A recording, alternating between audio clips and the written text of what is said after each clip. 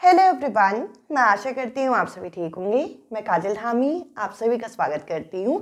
आज के इस वीडियो में मैं आप लोगों के लिए C TET paper two maths का कंप्लीट मैराथन सेशन यहाँ पे लेके आई हूँ, जिसके अंदर मैं आप लोगों के साथ C TET paper two maths का जो 20 मार्क्स के आपके न्यूमेरिकल जो एरिया यहाँ पे पूछा जाता है, इसका कंटेंट और इन टॉपिक्स के प्रीवियस ईयर क्वेश्चन यहाँ पे कंबाइल करके डिस्कस करूँगी। और अगर आपको पेपर टू मैथ्स के लिए यहाँ पे एक तरीके से डाउट है कि आप किस तरीके से प्रेपरेशन करें, किस टाइप के क्वेश्चन आपके पूछे जाएँगे तो इस मैराथन को आप यहाँ पे कंप्लीट देखिएगा। और अगर आप पेपर टू मैथ्स की यहाँ पे प्रिपरेशन कर रहे हैं तो आपका जो दूसरा सब्जेक्ट होगा, वो मेन सब्जेक्ट यहाँ पे साइंस होगा। अगर साइंस की प्रिपरेशन नहीं की तो साइंस की कंप्लीट मैराथन मैंने ऑलरेडी आप लोगों के साथ शेयर कर दी है। डिस्क्रिप्शन में आपको वीडियोज़ के यहाँ पे लिंक मिल जाएगी। साथ ही साथ कमेंट सेक्शन में भी मैंने सभी लिंक्स यहाँ पे लगा दी है। अब चलिए आज का इंपॉर्टेंट सेशन यहाँ पे शुरू करते हैं और एक एक टॉपिक मैं आप लोगों के साथ यहाँ पे शॉर्ट में डिस्कस करूँगी कि क्या इंपॉर्टेंट फॉर्मूला है, क्या इंपॉर्टेंट कॉन्सेप्ट है जो कि आपको माइंड में याद रखना है और उसके बाद उन टॉपिक्स के हम प्रीवियस ईयर क्वेश्चन यहाँ पे डिस्कस करेंगे। तो देखिए, अगर आपने पेपर टू मैथ्स का प्रीवियस ईयर पेपर देखे होंगे तो आपको डिविजिबिलिटी रूल के क्वेश्चन और एलसीएम एचसीएफ के दो टाइप के क्वेश्चन आपको देखने को मिलते हैं। एक डायरेक्ट जिससे हम एलसीएम एचसीएफ निकालते हैं, उस तरीके के क्वेश्चन आपको देखने को मिलेंगे। एक आपको इस तरीके से पावर बेस्ड क्वेश्चन क्वेश्चन यहाँ पे देखने को मिलेंगे। तो दोनों टाइप के क्वेश्चंस किस तरीके से सॉल्व करते हैं, मैं अभी आपके साथ डिस्कस करूँगी। तो एक एक करके इन दोनों टॉपिक के कॉन्सेप्ट को पहले मैं आपके साथ डिस्कस करती हूँ। और अगर आपका एक कॉन्सेप्ट क्लियर है तो तो भी आप लोगों की एक रिविजन हो जाएगी फाइनल रिविजन और इसके बाद मैं टॉपिक के साथ साथ उनके प्रीवियस ईयर क्वेश्चन यहाँ पे डिस्कस करते चलूँगी। तो देखिए, अगर मैं एलसीएम और एचसीएफ टॉपिक की बात करूँ तो यहाँ पर अगर मेरे सामने इस तरीके से तीन, चार अलग अलग नंबर दिए गए तो इनका मुझे अगर एलसीएम निकालना है तो मैं किस तरीके से निकालूँगी? सबसे पहले हम टू की टेबल से इसे डिवाइड करेंगे। टू की टेबल में ट्वेंटी कितने बार में आता है? दस बार में आता है। तीस कितने बार में आएगा? पंद्रह बार में आएगा और साठ कितने बार में आएगा? तीस बार में आएगा। अगर मैं इस वाली लाइन को देखूँ तो यहाँ पे आया दस, पंद्रह और तीस। तो देखिए, पंद्रह तो दो के पहाड़े में नहीं आता तो हम क्या करेंगे? यहाँ पे दो लिखने के बाद इस पंद्रह को तो हम एज इट इज़ यहाँ पे उतार देंगे। पर ये जो दस है, ये पाँच बारी में जाता है और तीस जो है, पंद्रह बारी में जाता है। अब अगर मैं इस रो में जितने भी नंबर हैं उनको देखूँ तो कोई भी नंबर आपके टू की टेबल में नहीं जाएगा। तो यहाँ पर हम अब थ्री की टेबल से करेंगे। थ्री की टेबल में फाइव नहीं आता, पर थ्री की टेबल में फिफ्टीन आता है कितने बार में? पाँच बार में। तो मैंने यहाँ पे इस तरीके से लिख दिया। अब यहाँ पर क्या आ गए? यहाँ पे आ गए पाँच, और पाँच जो हैं, वो सीधा अपनी टेबल से जाते हैं। तो आपको अगर एलसीएम निकालना है तो इसमें करना क्या है? इन सभी नंबर को आपस में मल्टीप्लाई करना है। जैसे कि टू टू ज़ा क्या होता है? तो आप कहेंगे फोर होता है। फोर थ्री ज़ा क्या होता है? ट्वेल्व होता है और ट्वेल्व फाइव ज़ा होता है सिक्सटी तो साठ इस क्वेश्चन का क्या आ जाएगा? एलसीएम आ जाएगा। अगर मुझे इसी का ही एचसीएफ निकालना है, इन्हीं नंबर का तो मैं एचसीएफ निकालूँगी कैसे? एच में निकालूँगी। सबसे पहले किसी दो नंबर को मैं यहाँ पे उठा लूँगी। तो बीस और तीस में से तीस जो है बड़ा है तो मैंने यहाँ पे अंदर लिख दिया। अब बीस जो है ये छोटा है तो मैंने यहाँ पे बाहर लिखा। तो देखिए, अगर मैं बीस के टेबल पढ़ती हूँ तो दो बार में तो चालीस आ जाएगा, जो कि बड़ा नंबर है। तो एक बारी में मैं इस तरीके से यहाँ पे भाग कर दूँगी। तो यहाँ पर माइनस करके कितना आ जाएगा? यहाँ पे आ जाएगा दस। तो देखिए, यहाँ पर ये जो दस है, इस बीस से छोटा है तो हम एक और डिवाइड का साइन लगाएँगे और इस बीस को, यानी कि जिससे पिछले बार डिवाइड किया था, उसको यहाँ पे अंदर रखेंगे। तो दो बारी में पूरा का पूरा कट जाएगा। अब होता क्या है कि ये जो आपने डिवीज़न किया है, इसमें लास्ट टाइम जिसे डिवाइड किया है, चाहे ये स्टेप कितने भी लंबे हों लास्ट टाइम जिससे डिवाइड करने के बाद पूरा ये नंबर कट गया, उससे क्या करेंगे, उससे तीसरे नंबर को भी हम यहाँ पे भाग कर देंगे। तो आपको पता है कि दस के टेबल में साठ कितने बार में आएगा, यहाँ पे छः बारी में आएगा। तो यहाँ दस एक ऐसा नंबर है जिससे तीनों नंबर डिवाइड हो जाएँगे। तो एचसीएफ कितना आ गया? एचसीएफ आ गया दस। अब आप कहेंगे, ये तो बहुत बेसिक कॉन्सेप्ट है, ये हमें क्यों बता रही है? तो हमें आता है। बट ये जो पावर बेस्ड क्वेश्चन है, इसको, यहाँ पे इसके कॉन्सेप्ट को समझने में ये टाइप आपको मदद करेगा। कैसे मदद करेगा? अब देखिए पेपर में आपने कई बार इस तरीके के प्रीवियस क्वेश्चन देखे होंगे, जिसमें एक्स वाई जेड की इस तरीके की वैल्यू दी जाती है। और कहा जाता है कि इनका एलसीएम निकालो या एचसीएफ निकालो या फिर एलसीएम एच निकाल के दोनों को डिवाइड करो मल्टीप्लाई करो, इस तरीके के क्वेश्चन आपके पूछे जाते हैं। पर अगर मैं सिंपल इन नंबर्स का एलसीएम या एचसीएफ निकालना चाहूँ तो मैं कैसे निकालूँगी? तो देखिए, आपको कोई अलग से सोल्यूशन करने की ज़रूरत नहीं है। आप बस पिछले कॉन्सेप्ट में एक बार एक, यहाँ पे गौर करिएगा। जब मैंने इन तीनों नंबर का एलसीएम निकाला लीस्ट कॉमन मल्टीपल यहाँ पे निकाला तो आप एक चीज़ गौर करिए कि जो आंसर आया, वो एक बड़ी वैल्यू आई। यानी कि आंसर जो आई, एक बिग वैल्यू आई, आप ये कह सकते हैं। और जब मैंने एचसीएफ निकाला तो आंसर जो आया, वो छोटा है, ये स्मॉल वैल्यू है। तो आप बस इस कंक्लूजन को बस अपने दिमाग में याद रखिएगा और इनकी पावर को आपको यहाँ पे यूज़ करना है। यानी कि एक्स वाई जेड में आपको टू टू टू तीनों बार दिख जाएँगे। टू में से एलसीएम में क्या करना है? क्योंकि आपको बड़ा आंसर लाना है तो सबसे बड़ी वाली पावर को उठा लेना है। तो टू की पावर फोर हम यहाँ पे उठा लेंगे। इसके बाद थ्री की पावर कौन सी ले लेंगे? थ्री की पावर यहाँ पे थ्री ले लेंगे। और फाइव की पावर कौन से ले लेंगे? फाइव की पावर भी यहाँ पे थ्री ले लेंगे। तो देखिए, सभी की बड़ी पावर उठाने की वजह से आंसर भी आपका सबसे बड़ा आएगा, जो कि इस क्वेश्चन का करेक्ट आंसर होगा। आपको क्वेश्चन में आंसर में ऑप्शन में, इसी फॉर्मेट में यहाँ पे दिया होता है तो आप यहाँ पे क्वेश्चन को सॉल्व कर सकते हैं। अब अगर मैं एचसीएफ निकालूँगी तो इन्हीं नंबर में से सबसे छोटी वाली पावर लूँगी। जैसे टू के पावर मैं क्या लूँगी? इन तीनों में से टू की पावर टू ले लूँगी। इसके अलावा थ्री की पावर वन ले लूँगी और फाइव की पावर वन ले लूँगी। तो इस तरीके से पावर बेस क्वेश्चन को आप इन कॉन्सेप्ट को यूज़ करके निकाल सकते हैं। साथ ही साथ कुछ इंपॉर्टेंट फॉर्मूले आपको पता होने चाहिए कि अगर आपके पास दो नंबर हैं कोई भी दो नंबर है, मान के चलिए x या x और y और अगर आप उन दोनों का प्रोडक्ट करते हैं तो वो किसके बराबर आएगा? वो उनके एल्सियम और एचसीएफ के प्रोडक्ट के बराबर आएगा। कहीं कहीं किसी किसी क्वेश्चन में आपको ये फॉर्मूले यूज़ होते हुए दिख जाएँगे। इसके अलावा, अगर मान के चलिए कि एक्स बाई वाई एक्स इसके अलावा एक्स वाई और यहाँ पर आपको ए बी सी इस तरीके से दे रखे हैं। मतलब फ्रैक्शन वाले नंबर आपको इस तरीके से दे रखे हैं। अगर इनका आपको क्या कहें, इनका आपको एलसीएम या HCF निकालना है तो अगर आपको एलसीएम निकालने को कहें तो आप क्या करेंगे? इनमें एलसीएम निकालेंगे ऊपर वाले नंबर्स का, यानी कि न्यूमरेटर का एक्स वाई जेड का आप एलसीएम निकालेंगे और डिनोमिनेटर का जो है, उसका आप एच सी एफ़ निकालेंगे। अगर यही चीज़ आपको उल्टा बोला जाए, यही चीज़ आपको बोला जाए कि ये जो फ्रैक्शन वाली संख्याएँ हैं, इनका आप एच सी एफ़ निकालें तो ऊपर वाली संख्याओं का आप एच सी एफ़ निकालिएगा और नीचे वाली संख्याओं का आप एलसीएम निकालिएगा। तो ये कुछ बेसिक फॉर्मूले हैं जो कि आपको एलसीएम और एचसीएफ से संबंधित यहाँ पे पता होने चाहिए। अभी जब मैं आपके साथ क्वेश्चन डिस्कस करूँगी तो आपको ये टॉपिक और अच्छे से क्लियर होगा। अब फटाफट एक बार डिविजिबिलिटी रूल यानी कि विभाज्यता के नियम को भी मैं आपके साथ डिस्कस करना चाहती हूँ। बहुत सिंपल सिंपल नियम है और मैं उम्मीद करूँगी कि ये सभी चीज़ें आप लोगों को ऑलरेडी आती होंगी। ये तो एक फाइनल रिविजन का सेशन है, इसलिए मैं आपके साथ सभी पॉइंट को यहाँ पे डिस्कस कर रही हूँ। तो देखिए, दो से डिवाइड होने वाले नंबर का जो लास्ट डिजिट है, जो अंतिम डिजिट होता है, वो क्या होगा? या तो ज़ीरो होगा, वो दो होगा, चार छ या आठ होगा। तो अगर ये नंबर आ जाए तो आप कहेंगे कि वो नंबर दो से भाग हो जाएगा। इसके अलावा तीन की डिविजिबिलिटी और नौ की डिविजिबिलिटी साथ में करिएगा। इनमें क्या होता है? अगर कोई भी संख्या आपको दे दी जाए, जैसे कि X Y Z A B C एक संख्या है ये। अगर ये पूछा जाए कि ये जो संख्या है, ये तीन से भाग होगी या नहीं होगी तो आप क्या करेंगे? इन सभी संख्याओं में जितने भी डिजिट है, इनको आप जोड़ लेंगे। और जोड़ने के बाद मान के चलिए, जैसे कि 21 आ गया। और 21 आपको पता है कि तीन से भाग होता है तो ये पूरा नंबर भी तीन से भाग होगा। सेम यानी कि सम ऑफ़ डिजिट जो होगा, वो आपका तीन से भाग होना चाहिए। सेम यही रूल आपका किसका है? नौ का है कि सम ऑफ़ डिजिट क्या होगा? वो नौ से भाग होना चाहिए। तो इस तरीके से आप कंबाइन तरीके से करेंगे। अभी मैंने आपके साथ टू की डिविजिबिलिटी का रूल क्या बताया कि लास्ट डिजिट आपका दो से भाग होना चाहिए या फिर दो यहाँ पे ज़ीरो दो, चार छः आठ होना चाहिए। अब चार की डिविजिबिलिटी का रूल क्या है कि लास्ट दो डिजिट जैसे कि दो की डिविजिबिलिटी में क्या देखा था कि यहाँ पे लास्ट डिजिट ये होना चाहिए, जबकि चार की डिविजिबिलिटी क्या बोलते हैं? लास्ट के दो डिजिट फॉर एग्ज़ाम्पल कोई भी ऐसा यहाँ पे नंबर है, पर लास्ट में यहाँ पर जो नंबर हो, वो आपका किससे भाग होना चाहिए? लास्ट के दो डिजिट होने चाहिए, जो चार से भाग होने चाहिए। अब आठ की डिविजिबिलिटी का रूल क्या है? आठ की डिविजिबिलिटी में यहाँ पे दो की जगह लास्ट के तीन डिजिट जो होंगे, वो आपके किससे भाग होंगे? वो आपके आठ से भाग होंगे। पूरे नंबर को भाग करने की ज़रूरत नहीं है। लास्ट के तीन डिजिट को आप डिवाइड करके देख सकते हो कि वो एट से डिवाइड होता है नहीं होता। अभी मैंने आपके साथ क्या डिस्कस किया कि दो के, दो की डिविजिबिलिटी का रूल क्या है कि लास्ट का डिजिट ये होना चाहिए। चार की डिविजिबिलिटी का रूल क्या है कि लास्ट के दो डिजिट आपके चार से भाग होने चाहिए।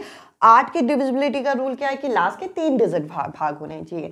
अगर मैं पाँच की डिविजिबिलिटी का रूल बोलूँ तो इसमें लास्ट का जो डिजिट है वो या तो आपका पाँच होगा, वो या तो आपका ज़ीरो होगा, ये तो सबको पता है। इसके अलावा दस की डिविजिबिलिटी का रूल क्या है कि लास्ट का जो डिजिट होगा, वो आपका सीधा ज़ीरो होना चाहिए। अगर ज़ीरो नहीं है, शून्य नहीं है तो वो दस से भाग नहीं होगा। इसके अलावा छः की डिविजिबिलिटी के नियम के लिए क्या है कि वो जो संख्या आपको दी गई हो, वो दो और तीन दोनों से ही भाग होनी चाहिए। अगर कोई एक संख्या है जो दो से तो भाग होती है, पर तीन से भाग नहीं होती तो वो छः से भी भाग नहीं होगी। यानी कि छह से भाग होने के लिए दो और तीन दोनों से ही भाग होने चाहिए। अब सबसे ज़्यादा कंफ्यूज करते हैं यहाँ पे ग्यारह और नौ की सॉरी सात और ग्यारह की डिविजिबिलिटी का रूल और सबसे ज़्यादा क्वेश्चन पता नहीं क्यों बट ऐसा है कि नाइन और इलेवन की डिविजिबिलिटी से पूछे गए हैं। तो दोनों को मैं आपके साथ डिस्कस करती हूँ। जैसे कि मैंने X Y Z A B C का एग्ज़ाम्पल आपके सामने लिखा था। अब इसमें आप यहाँ पे गौर करेंगे कि अगर ये 11 से डिविजिबिलिटी आपको चेक करनी है तो आप एक छोड़कर एक का यहाँ पे इस तरीके से पेयर बना लेंगे। यानी कि x का पेयर पहले किसके साथ बनेगा? X का पेयर यहाँ पे बना z के साथ, z के बाद b के साथ। तो आपने क्या किया? इनको यहाँ पे जोड़ के एक नंबर जो है यहाँ पे निकाल लिया। इसके बाद बाकी बचे हुए नंबर का भी जोड़ा बना लीजिए, जैसे कि y, a और c y plus A plus C का आपने यहाँ पे जोड़ा बना दिया, यहाँ पर भी एक नंबर आ गया। अब मान के चलिए कि यहाँ पर जो नंबर आया है, यहाँ पर आया है आपके पास p और यहाँ पे आया है q अब ये जो p और q आपके पास आंसर आया है, अगर आप इन्हें माइनस करेंगे, अगर आप p और q को घटाएँगे तो इनका जो अंतर है, जो यहाँ पर आपको अंतर देखने को मिलेगा, जो डिफरेंस देखने को मिलेगा, वो या तो ज़ीरो होना चाहिए वो या तो 11 से डिवाइड होना चाहिए, यानी कि वो या तो अंतर सीधा ज़ीरो आ जाए तो तो आपका 11 से भाग होगा। या तो वो अंतर कैसे होने चाहिए? 11 22 या 33 44 इस तरीके के नंबर होने चाहिए जो कि 11 से सीधा भाग जाए। तो इस तरीके से ये आपको याद रखना है 11 की डिविजिबिलिटी के लिए। अगर मैं 7 की डिविजिबिलिटी का नियम बताऊँ तो इसके लिए मैं एक एग्ज़ाम्पल के साथ यहाँ पे बढ़ूँगी। थ्री, फोर, थ्री एक नंबर है। जैसे कि मुझे पता है कि ये नंबर सात से डिवाइड होता है, पर मुझे अगर डिविजिबिलिटी रूल के हिसाब से करना है तो मैं क्या करूँगी? लास्ट डिजिट को हम क्या करेंगे? इसके किसी भी सेवन की डिविजिबिलिटी का रूल ये है कि लास्ट के डिजिट को आप क्या करिए? डबल कर लीजिए। डबल करना मतलब टू से मल्टीप्लाई करना तो कितना आ जाएगा? सिक्स आ जाएगा। अब ये जो डबल करने के बाद नंबर आया है, इस नंबर का क्या करना है? बाकी बचे हुए जितने भी नंबर होंगे, जैसे यहाँ तो थर्टी फोर ही बचा हुआ है, बाकी बचे हुए जितने भी नंबर हैं, उससे इस सिक्स को माइनस करके देखिएगा। यहाँ पर कितना आ जाएगा? यहाँ पे अगर आप माइनस करेंगे तो यहाँ पर आपके सामने 28 आ जाएगा। तो सेवन के टेबल अगर हम पढ़े तो सेवन वन जा सेवन टू जा फोर्टीन सेवन थ्री जा ट्वेंटी वन सेवन फोर जा ट्वेंटी एट अट्ठाईस आता है तो यानी कि ये नंबर भी आपका साथ से भाग होगा। तो अभी मैंने आपके साथ एलसीएम एचसीएफ और डिविजिबिलिटी रूल यानी कि विभाज्यता के नियम इस टॉपिक को यहाँ पे डिस्कस किया। अब चलिए इन दोनों टॉपिक के कंबाइल प्रीवियस ईयर क्वेश्चन में आपके साथ डिस्कस करती हूँ, फिर हम नेक्स्ट टॉपिक की तरफ़ आगे बढ़ेंगे। अब मैं आपके साथ कुछ क्वेश्चन यहाँ पे डिस्कस करूँगी, जो कि विभाज्यता के नियम और एलसीएम, एचसीएफ पे बेस्ड है। तो देखिए, पहला क्वेश्चन हमारे सामने है कि एक नौ डिजिट की संख्या है, जो कि हमें ये दे रखी है, और ये बोल रखा है कि ये जो संख्या है, ये सेवेंटी टू से विभाज्य है। तो हमें यहाँ पे एक्स और वाई का मान पहले ज्ञात करना है और एक्स और वाई का मान ज्ञात करके three X plus two Y में इसे पुट कर देना है। तो देखिए, सबसे पहले ये जो नंबर दे रखा है, इस नंबर के बारे में ये बता रखा है कि ये सेवेंटी टू से विभाज्य है। अगर ये पूरा नंबर सेवेंटी टू से डिविजिबल है तो हम कहेंगे कि इसके अगर हम फैक्टर बनाएँ तो यहाँ पे बनेंगे eight into nine eight nine सा क्या होता है? Seventy two. अब हमने फैक्टर क्यों बनाया क्योंकि देखिए, डिविजिबिलिटी रूल हमने डिस्कस ज़रूर किया पर सेवेंटी टू तक हमने कवर नहीं किया। हमने यहाँ पे इलेवन, ट्वेल्व तक मोस्टली यहाँ पे डिस्कस किया है तो हम बाकी बड़े जो नंबर होंगे, उसका गुणनखंड करके, उसका फैक्टर बना के हम क्या करेंगे? उसको सॉल्व करेंगे। तो कहने का मतलब क्या है कि अगर ये जो क्वेश्चन में दी हुई संख्या है, जो कि नौ डिजिट की संख्या है, अगर ये नौ डिजिट की संख्या आपकी किससे डिवाइड होती है? वो नौ से यहाँ पे, वो सेवेंटी टू से डिवाइड होती है। तो इसका सीधा सीधा अर्थ ये है कि वो आठ और नौ दोनों से यहाँ पे डिविजिबल होगी। तो अगर मैं आठ के डिविजिबिलिटी का रूल आपके साथ डिस्कस करूँ तो आठ की डिविजिबिलिटी का रूल क्या है? कि लास्ट के तीन डिजिट आपके किससे डिवाइड होने चाहिए? लास्ट के तीन डिजिट आपके यहाँ पर आठ की टेबल से आपके डिवाइड होनी चाहिए। तो लास्ट के तीन डिजिट मैंने इस तरीके से यहाँ पे आप लोगों के लिए लिख दिया। तो देखिए, यहाँ पर अगर मैं इसे डिवाइड करने लगूँ तो एट नाइन ज़ा क्या होता है? एट नाइन ज़ा होता है सेवेंटी टू तो मैंने इस तरीके से यहाँ पे सेवेंटी टू लिख दिया। इसके बाद अगर मैं इसे माइनस करूँगी तो यहाँ पे बचेगा छः। अब देखिए, छः के साथ मैं वाई की जगह पे यहाँ पे ऐसा कौन सा नंबर लिखूँ कि ये पूरा का पूरा आपका किससे डिवाइड हो जाए? ये आठ से डिवाइड हो जाए। तो आपको पता है कि यहाँ पर मैं क्या लिख सकती हूँ? यहाँ पर मैं छः लिख यहाँ पे मैं चार लिख सकती हूँ।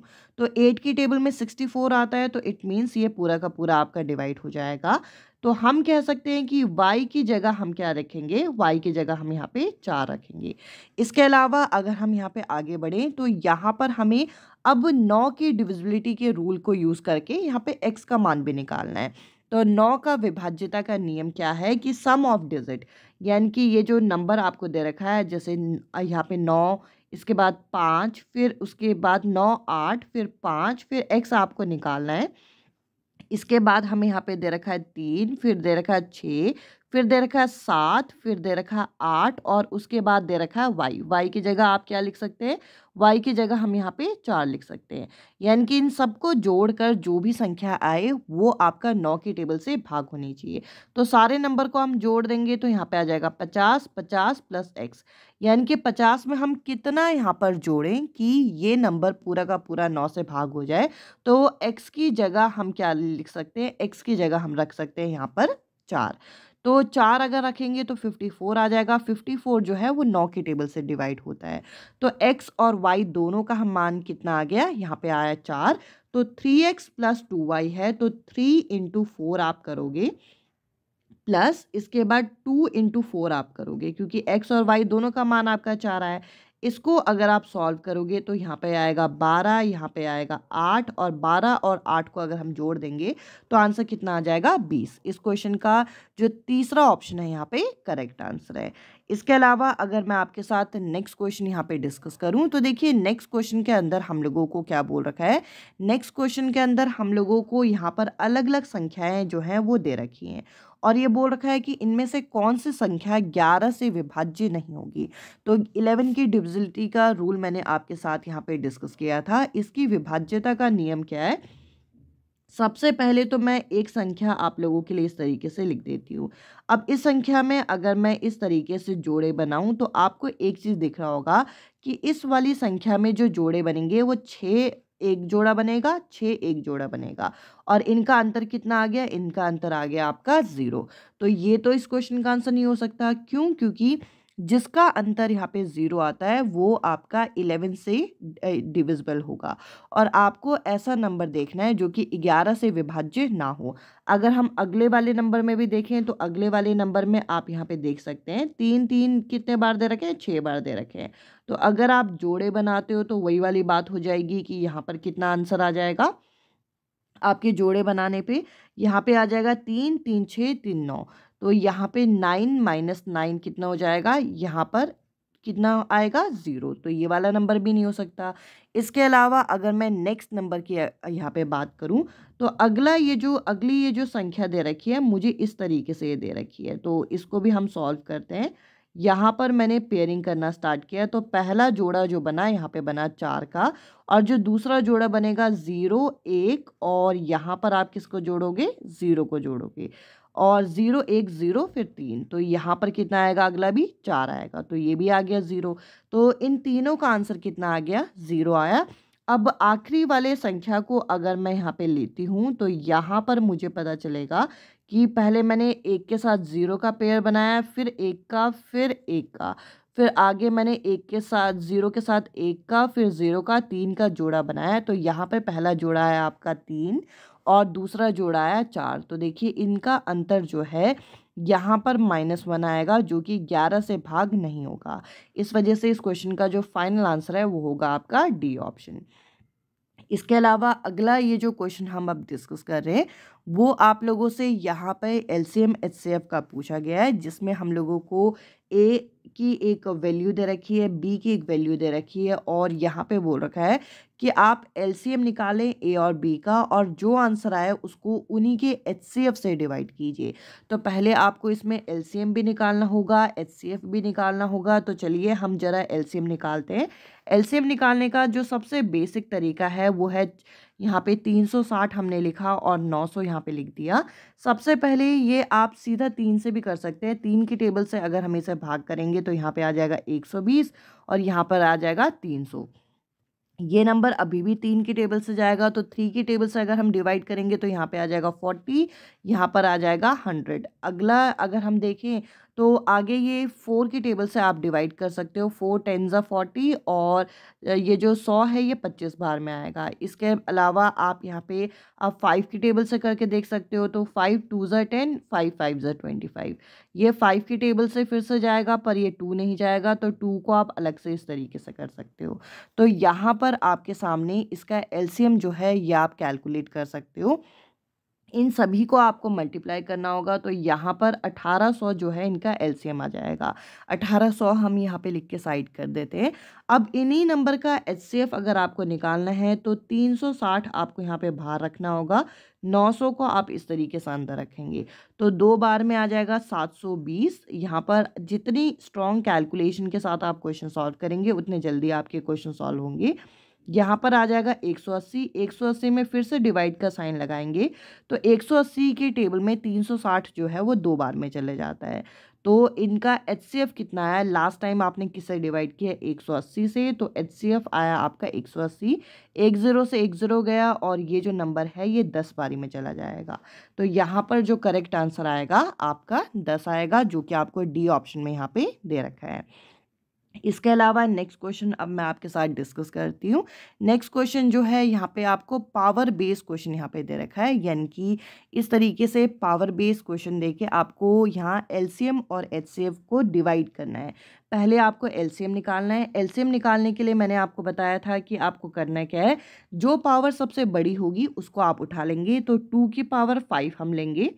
इसके बाद हम थ्री की पावर में क्या लेंगे? थ्री की पावर में सबसे बड़ी पावर है थ्री। और अगर हम फाइव के पावर देखें तो फाइव के पावर में सबसे बड़े पावर क्या है? फाइव के पावर थ्री और नीचे आपको डिवाइड करना है उसके एचसीएफ के साथ और एचसीएफ क्या है? एच सी की अगर हम बात करें तो एचसीएफ होता है जो सबसे छोटी पावर होती है। तो टू की पावर आपको लेना पड़ेगा थ्री इसके अलावा थ्री के पावर सबसे छोटी कौन सी है? टू फिर फाइव के पावर कौन सी लेनी पड़ेगी? टू तो अब आप इन वैल्यूज़ को यहाँ पे काट सकते हैं। अगर हम इनको कैंसिल करेंगे तो टू के पावर टू यहाँ पे बच जाएगा। इसके बाद इनको कैंसिल करेंगे तो थ्री के पावर वन यहाँ पे बच जाएगा और इनको कैंसिल करेंगे तो यहाँ पर फाइव के पावर वन बचेगा। तो यानी कि यहाँ पर आपके पास आया फोर और यहाँ पे आया फिफ्टीन। फिफ्टीन फोरजा होता है आपका सिक्सटी और ये किस ऑप्शन में मिल रहा है? ये आपको सी ऑप्शन में मिल रहा है। आई होप ये क्वेश्चन और ये टाइप्स आपको यहाँ पे क्लियर हो रहे होंगे। अब मैं आपके साथ नेक्स्ट क्वेश्चन यहाँ पे डिस्कस करती हूँ। अभी जब मैंने आप लोगों के साथ कंटेंट भी डिस्कस किया था, तभी भी मैंने आप लोगों को बताया था कि सबसे ज़्यादा क्वेश्चन जो डिविजिबिलिटी रूल से आपके पूछे जाते हैं, वे आपके या तो नाइन से पूछे जाते हैं या इलेवन से पूछे जाते हैं। तो ये दोनों आपको बहुत अच्छे से करने हैं। यहाँ पे बोल रखा है इफ़ अ नंबर एक नंबर है जो कि डिविजिबल है किससे? नौ से। तो आपको बताना है कि एक्स की जगह यहाँ पे क्या आएगा। तो नौ की विभाज्यता का नियम क्या है कि सम ऑफ़ डिजिट जो हो, नौ से विभाज्य होना चाहिए। तो सम ऑफ़ डिजिट मैं इस तरीके से यहाँ पे लिख सकती हूँ। सम ऑफ़ डिजिट इन सभी नंबर को आप जोड़ के देखेंगे तो कितना आ जाएगा? इक्कीस। इक्कीस प्लस एक्स तो देखिए, इक्कीस में मैं ऐसा क्या जोड़ूँ कि वो आपका किससे डिवाइड हो जाए? नौ से। तो इक्कीस में आप यहाँ पे छः जोड़ दीजिए। तो अगर 21 में आप यहाँ पे छः जोड़ेंगे तो ये कितना बन जाएगा? यहाँ पे सत्ताईस बन जाएगा और सत्ताईस जो है, वो आपका नौ के टेबल से डिवाइड होता है। इस हिसाब से यहाँ पर जो करेक्ट आंसर हो जाएगा, एक्स का मान कितना आएगा? छः आई होप ये क्वेश्चन आपको क्लियर हुए होंगे। अब चलिए मैं आप लोगों के साथ नेक्स्ट टाइप और नेक्स्ट टाइप के क्वेश्चन यहाँ पे डिस्कस करती हूँ। अब हम इस सेशन को यहाँ पे कंटिन्यू करेंगे और अब मैं आपके साथ एक इंपॉर्टेंट कॉन्सेप्ट यहाँ पे शुरू कर रही हूँ जो कि ट्राइंगल से रिलेटेड है। अब देखिए, ये जो टॉपिक है, इस टॉपिक में आप लोगों को टाइप ऑफ़ ट्राइंगल यानी कि जो त्रिभुज है वो कितने प्रकार के होते हैं, साथ ही साथ कॉन्ग्रेंस ऑफ़ ट्राइंगल और इसके अलावा जो इनकी प्रॉपर्टी से जो सूत्र आपके फॉर्मूले बनते हैं, वहाँ से क्वेश्चन पूछे जाते हैं। तो कई सारे एरिया से यहाँ पे क्वेश्चन बन सकते हैं तो इस टॉपिक को आप ध्यान से सुनिएगा। अब देखिए, त्रिभुज होता क्या है ट्राइंगल क्या होता है? तो देखिए, ऐसी कोई भी साइड ऐसी कोई भी शेप बेसिकली जिसके तीन साइड हो, तीन आपकी भुजाएँ हो, वो क्या कहलाएँगी? वो आपके ट्राइंगल कहलाएँगी। अब अगर हम भुजाओं के आधार पर साइड्स के आधार पर देखें तो हमारे आसपास ट्राइंगल तीन तरीके के होते हैं। सबसे पहले समबाहु, यानी कि इक्वलेटरल ट्राइंगल इक्वलेटरल ट्राइंगल क्या होंगे? जिसमें तीनों साइड जैसे कि ए बी सी जो है, वो तीनों की तीनों एक दूसरे से समान होंगी। इसी वजह से इसे समबाहु त्रिभुज बोला जाता है। अब दूसरा टाइप का ट्राइंगल क्या होता है? जिसे आप सम द्विभाव यानी कि यहाँ पे आइसोसेलिस ट्राइंगल बोलते हो। आइसोसेलिस ट्राइंगल में क्या होगा कि दो साइड यहाँ पे बराबर होंगी और तीसरी साइड यहाँ पे अनइक्वल होंगी। इसके अलावा अगर हम स्केलेंट यानी कि विषम बाहु त्रिभुज की बात करें तो इसके अंदर तीनों ही साइड्स एक दूसरे के इक्वल नहीं होगी। तो कुछ बेसिक चीज़ें हमें यहाँ पे पता होनी चाहिए। इसके अलावा देखिए, यहाँ पे अगर हम इनके कोण यानी कि इनके एंगल्स के आधार पर देखें तो कोण कर कोण के आधार पर भी हमारे आसपास ट्राइंगल तीन तरीके के होते हैं। एक होता है एक्यूट एंगल ट्राइंगल जिसमें जो कोण होगा, वह आपका 90 डिग्री से छोटा होगा तो आपका एक्यूट एंगल न्यूम कोण कहलाएगा। अधिक कोण यानी कि ऑप्टियोज एंगल वो होगा, जो कि 90 डिग्री से ज़्यादा उसका कोई ना कोई एक एंगल होगा। और राइट एंगल वो, जिसमें 90 डिग्री का उसमें एंगल देखने को मिलेगा। राइट एंगल ट्राइंगल कुछ इस तरीके से देखने को मिलते हैं। और राइट एंगल ट्राइंगल में आपका पाइथागरस थ्योरम यहाँ पे लगता है, जिसके अंदर अगर आपको एक साइड यहाँ पे ना दी गई हो, और दो साइड आपको पता हो, जैसे कि ए और बी की वैल्यू आपको पता है तो आप तीसरी साइड निकाल सकते हैं। इसमें पाइथागोरस थ्योरम ये बोलता है कि लॉन्गेस्ट साइड यानी कि एक्स का अगर आप स्क्वायर करेंगे तो वो किसके बराबर आएगा? A square plus B square तो ये है आपका पाइथागोरस थ्योरम जो कि किस पे अप्लाई होता है? राइट एंगल ट्राइंगल पे. अब इसके अलावा, जैसे कि मैंने कहा कि त्रिभुज से कुछ सूत्र आपके बनते हैं, वहाँ से क्वेश्चन पूछे जाते हैं। जैसे कि अगर हमारे पास कोई भी एक त्रिभुज है, जिसमें अगर मान लीजिए, ये साइड है ए ये साइड है बी ये साइड है सी अगर मुझे सम ऑफ़ ट्राइंगल निकालना है, यानी कि ट्राइंगल के तीनों साइड का सम कितना होगा तब आप बोलेंगे कि ट्राइंगल के तीनों साइड का सम कितना होता है? 180 डिग्री होता है।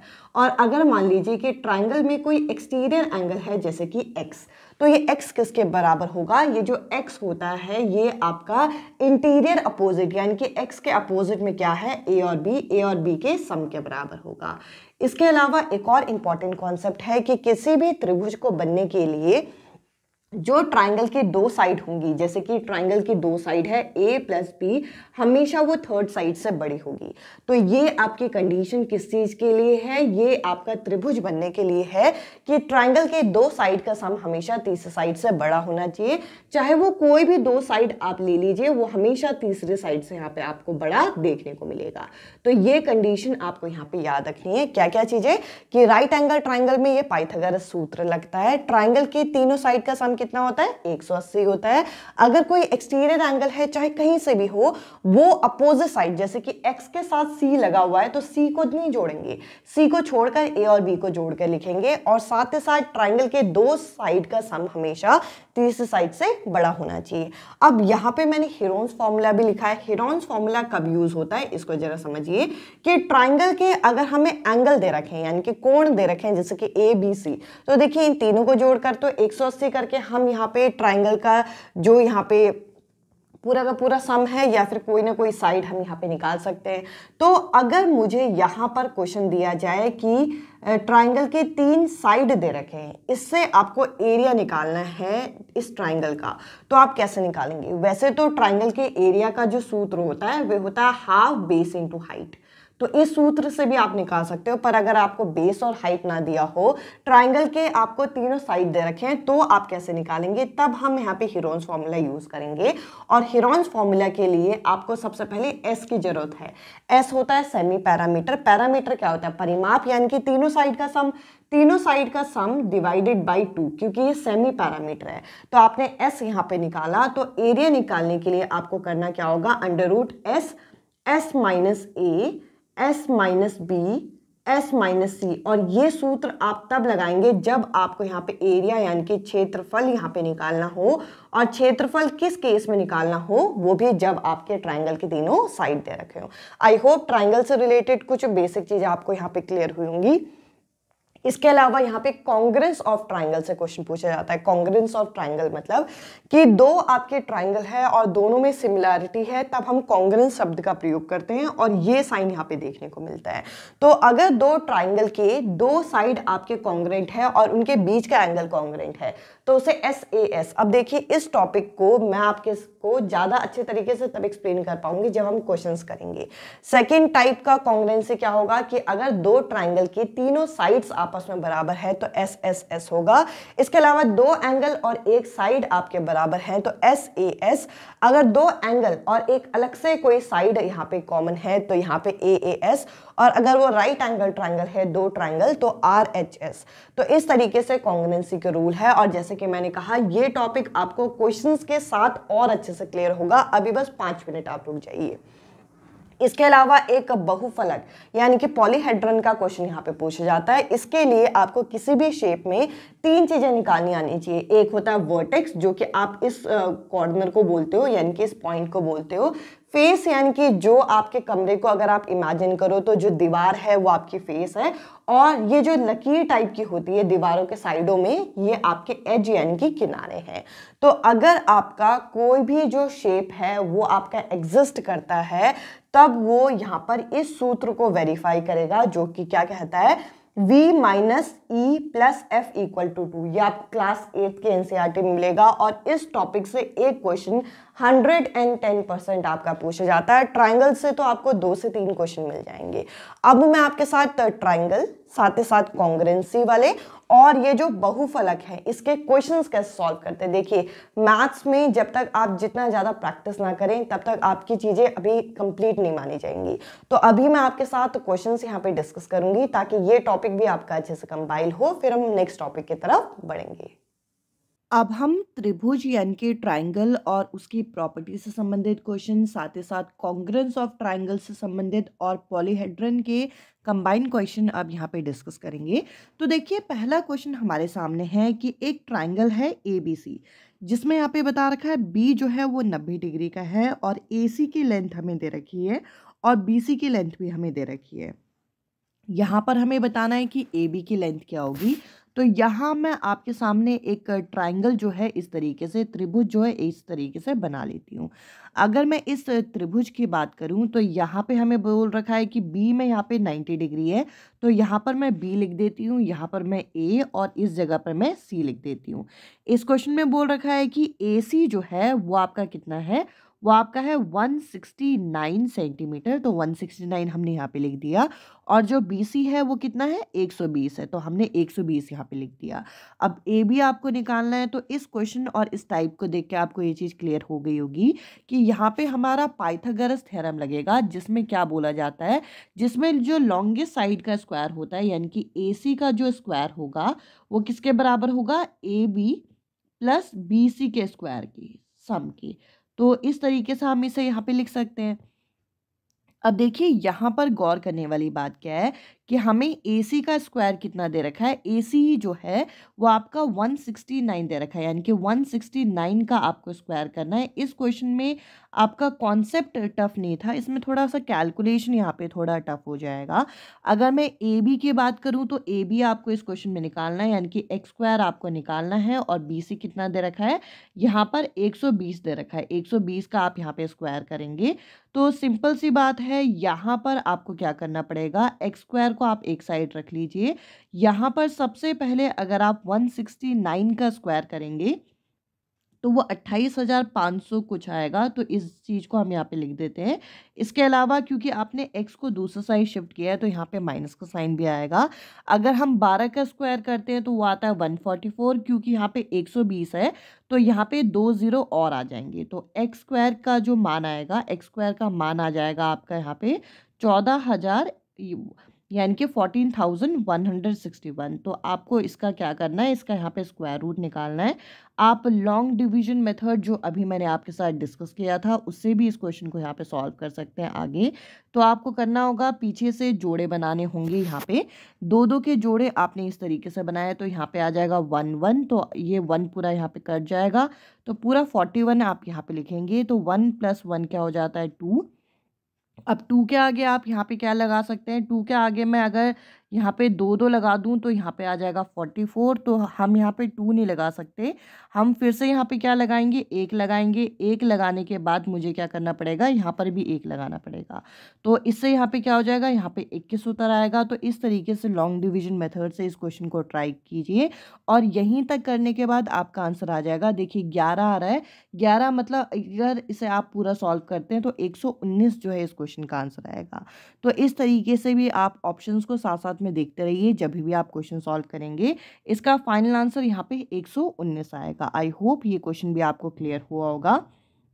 अब मैं आपके साथ नेक्स्ट क्वेश्चन और नेक्स्ट टाइप का क्वेश्चन यहाँ पे डिस्कस करती हूँ।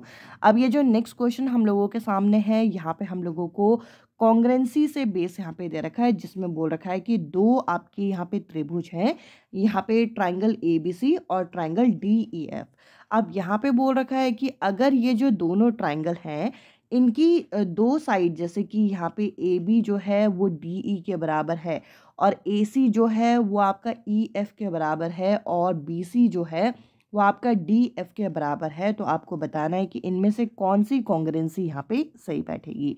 तो सबसे पहले तो हमें क्या चीज़ें दे रखी हैं वो देखिए। ए बी जो दे रखा है वो किसके बराबर दे रखा है? डी ई के बराबर दे रखा है। ठीक है जी? और ए सी जो दे रखा है वो किसके बराबर दे रखा? है वो ई e, एफ़ के बराबर दे रखा है। और यहाँ पे अगर हम देखें तो बी सी किसके बराबर दे रखा है? वो आपका डी एफ़ के बराबर दे रखा है। ये कुछ बेसिक इन्फॉर्मेशन आपको यहाँ पे दे दी। और यहाँ पे आप सभी ऑप्शन में देखेंगे कि एक साइड तो आपको ए बी सी ही यहाँ पे दे रखा है। तो ए बी सी मैं यहाँ पे इस तरीके से लिख सकती हूँ कि ए बी सी किसके कॉन्ग्रेंट है? हम एक एक ऑप्शंस को एलिमिनेट यहाँ पे कर सकते हैं। तो देखिए, यहाँ पर ए बी जो है, पहले ऑप्शन में ए बी किसके बराबर दे रखा है? ई एफ़ के बराबर दे रखा है। तो देखिए ए बी तो आपका ई एफ़ के बराबर नहीं है। ई एफ़ के बराबर तो क्या है? ए सी है। तो पहला ऑप्शन तो इस क्वेश्चन का आंसर नहीं हो सकता। सेकेंड ऑप्शन में ए बी किसके बराबर दे रखा है? ए बी यहाँ पे डी ई के बराबर दे रखा है। जो ए बी है, वो तो आपका डी ई के बराबर है। इसके अलावा अगर हम यहाँ पे बी सी को ले, बी सी किसके बराबर है? बी सी यहाँ पे ई एफ़ के बराबर है, जबकि बी सी जो है, वो डी एफ़ के बराबर होना चाहिए। तो यहाँ पर ये वाला ऑप्शन भी एलिमिनेट हो गया। अब अगर मैं नेक्स्ट ऑप्शन देखूँ तो यहाँ पे ए बी किसके बराबर दे रखा है? ई डी के। ए बी जो है ई डी या डी ए ये आपका मैच करेगा। बट इसके बाद अगर हम बी सी देखें तो बी सी किसके बराबर होना चाहिए? डी एफ़ के बराबर होना चाहिए। ये चीज़ भी आपका मैच कर रहा है। और अगर आप लास्ट में इस चीज़ को ए सी को देखो ए सी जैसे यहाँ पे दे रखा है ए सी किसके बराबर है? ई एफ़ के बराबर है। तो ए सी जो है ई एफ़ के बराबर दे रखा है। ये सेट भी आपका मैच कर रहा है। यानी कि ये इस क्वेश्चन का फाइनल आंसर होना चाहिए। फिर भी एक बार लास्ट ऑप्शन को भी देख लीजिए। ए बी जो है, यहाँ पे किसके बराबर दे रखा है? एफ़ डी के। और ए बी किसके बराबर हमें क्वेश्चन में बोल रखा है? डी ई के बराबर। तो ये ऑप्शन तो हो ही नहीं सकता। अगर आप किसी भी तरीके से मैच करो, इस क्वेश्चन का आंसर सी ऑप्शन ही यहाँ पे करेक्ट आंसर होगा। इसके अलावा अब हम यहाँ पे नेक्स्ट क्वेश्चन जो है, ये डिस्कस करते हैं। नेक्स्ट क्वेश्चन आपकी ट्राइंगल की डिफरेंट प्रॉपर्टी पर आधारित है। यहाँ पर हमें एक त्रिभुज दे रखा है। और इस त्रिभुज के अंदर अगर आप गौर करेंगे तो ए बी सी करके एक ट्राइंगल दे रखा है तो हम फटाफट यहाँ पर ए बी सी एक ट्राइंगल इस तरीके से यहाँ पे बना लेते हैं।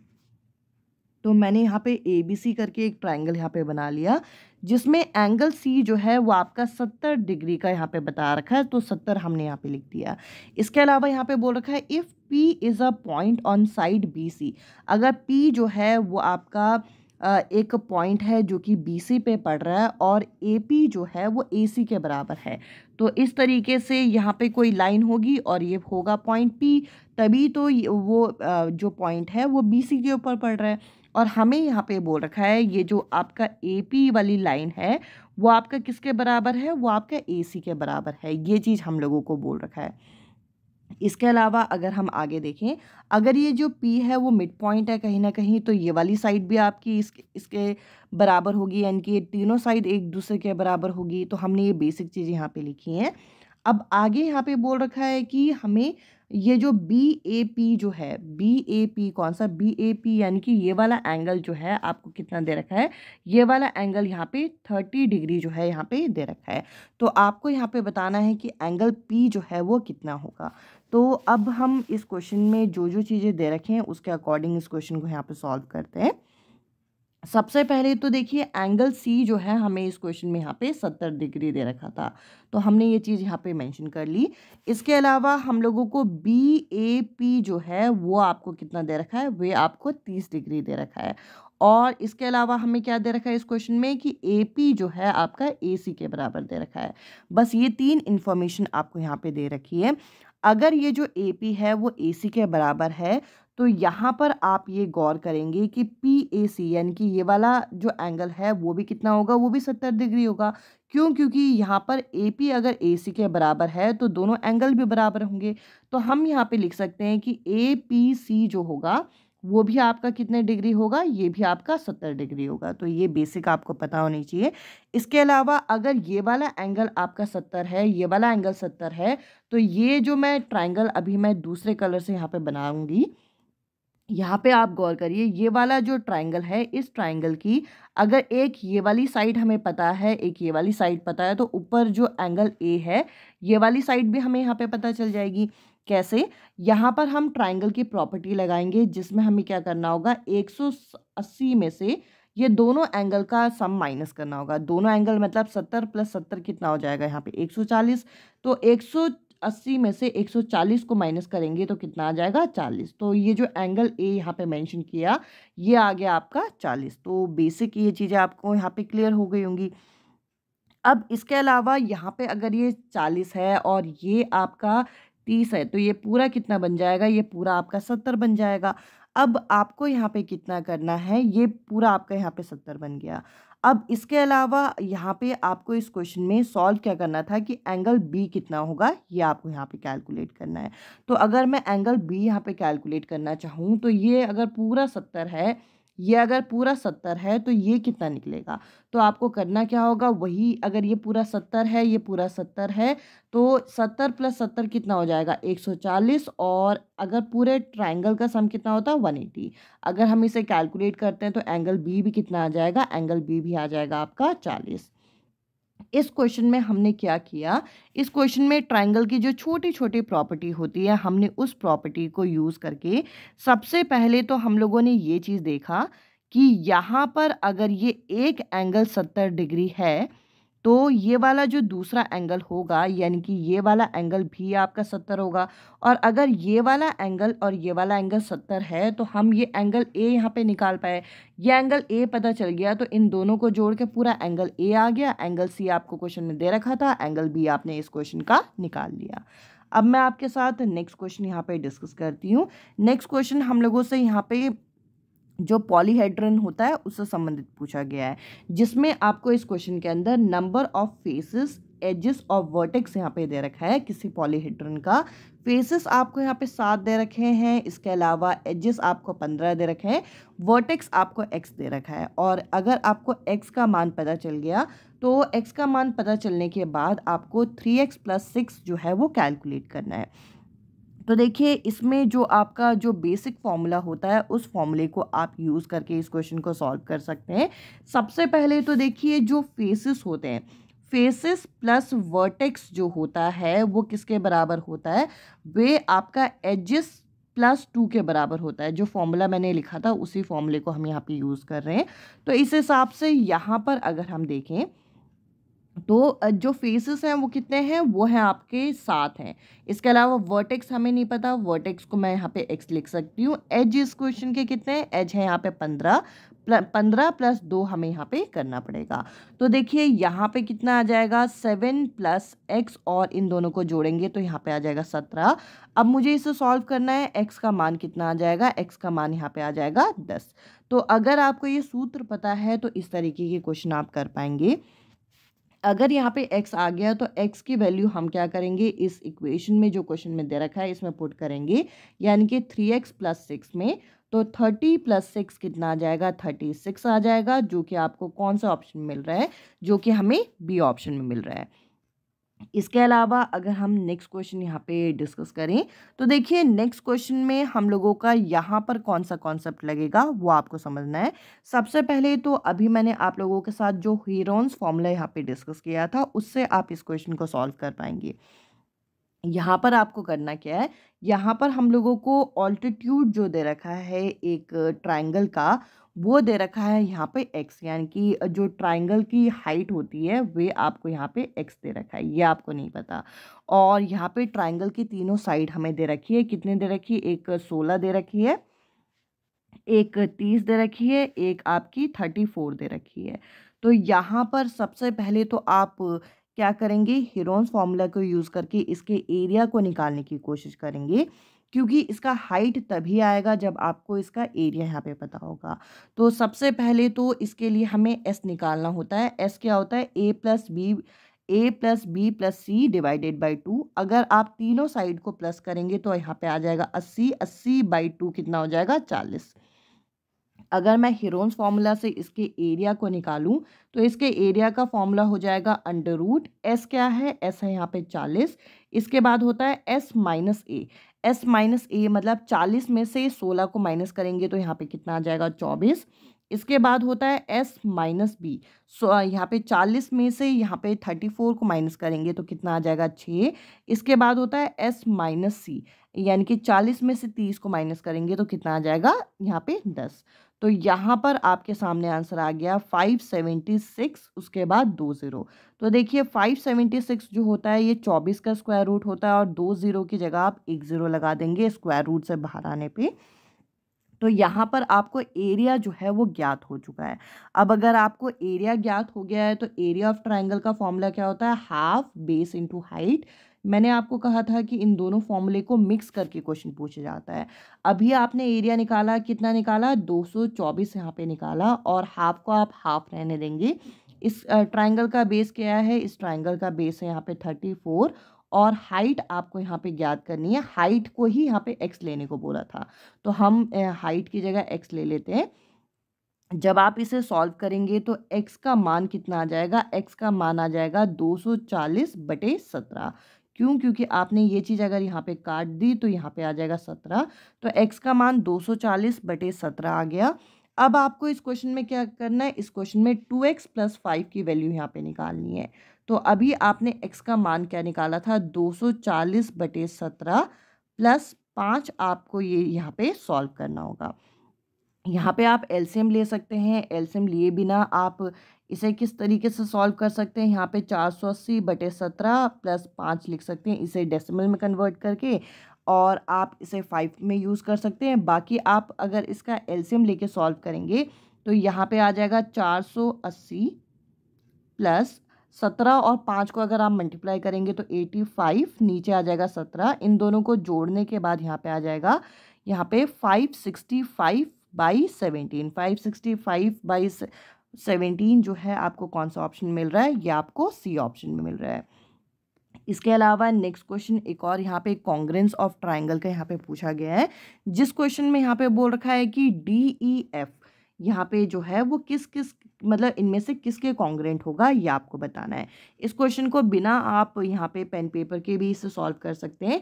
तो देखिए क्वेश्चन के अनुसार जो चीज़ें दे रखी हैं, डी, ई जो है, क्वेश्चन में किसके कॉन्ग्रेंट बता रखा है? बी, ए, बी के। तो पहले ऑप्शन में जो डी, एफ़ है, वो आपका ए, बी के बराबर दे रखा है। इसके अलावा अगर हम यहाँ पे नेक्स्ट देखें तो नेक्स्ट यहाँ पे ई, एफ़ है। ई एफ़ किसके बराबर दे रखा है? वो ए सी के बराबर दे रखा है। पर यहाँ पे तो क्वेश्चन में बी सी के बराबर दे रखा है तो यहाँ पे ये ऑप्शन इस क्वेश्चन का आंसर नहीं होगा। इसके अलावा नेक्स्ट अगर मैं ऑप्शन देखूँ, ध्यान से देखिएगा। यहाँ पर हमें डी ई e जो है डी ई e जो है इस क्वेश्चन में क्या दे रखा है? ए बी के बराबर होना चाहिए। डी ई ए बी के या बी ए के बराबर हो सकता है, यहाँ पे ये दे रखा है।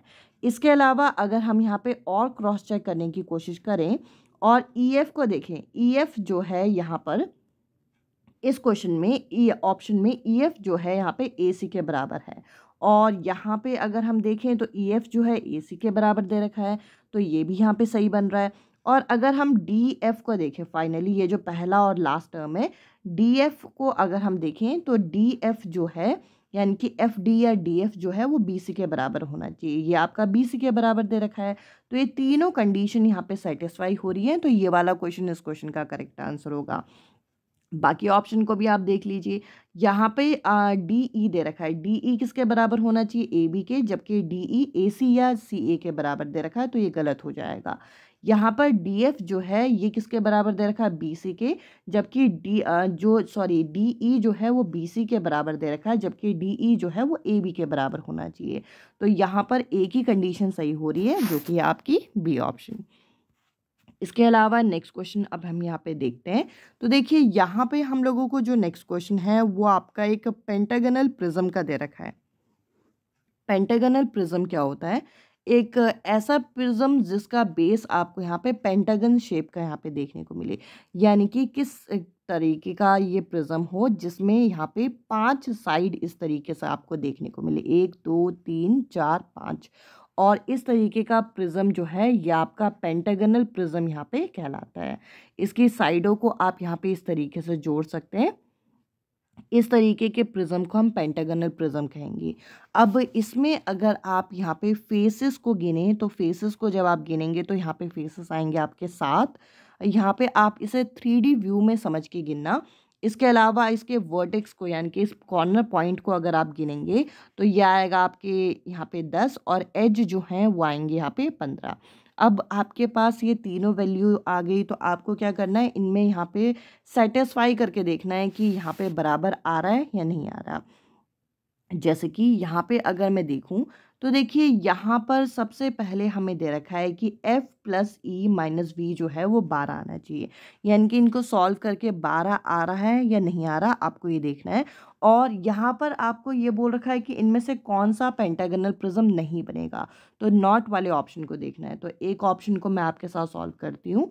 तो यहाँ पे दे रखा है एफ़ प्लस ई यानी कि सात प्लस ई कितना है? पंद्रह माइनस दस, ये कितना होगा सॉल्व करके? अगर आप इसे सॉल्व करेंगे तो सात प्लस पंद्रह हो जाएगा बाईस, माइनस दस कितना हो जाएगा यहाँ पे? बारह।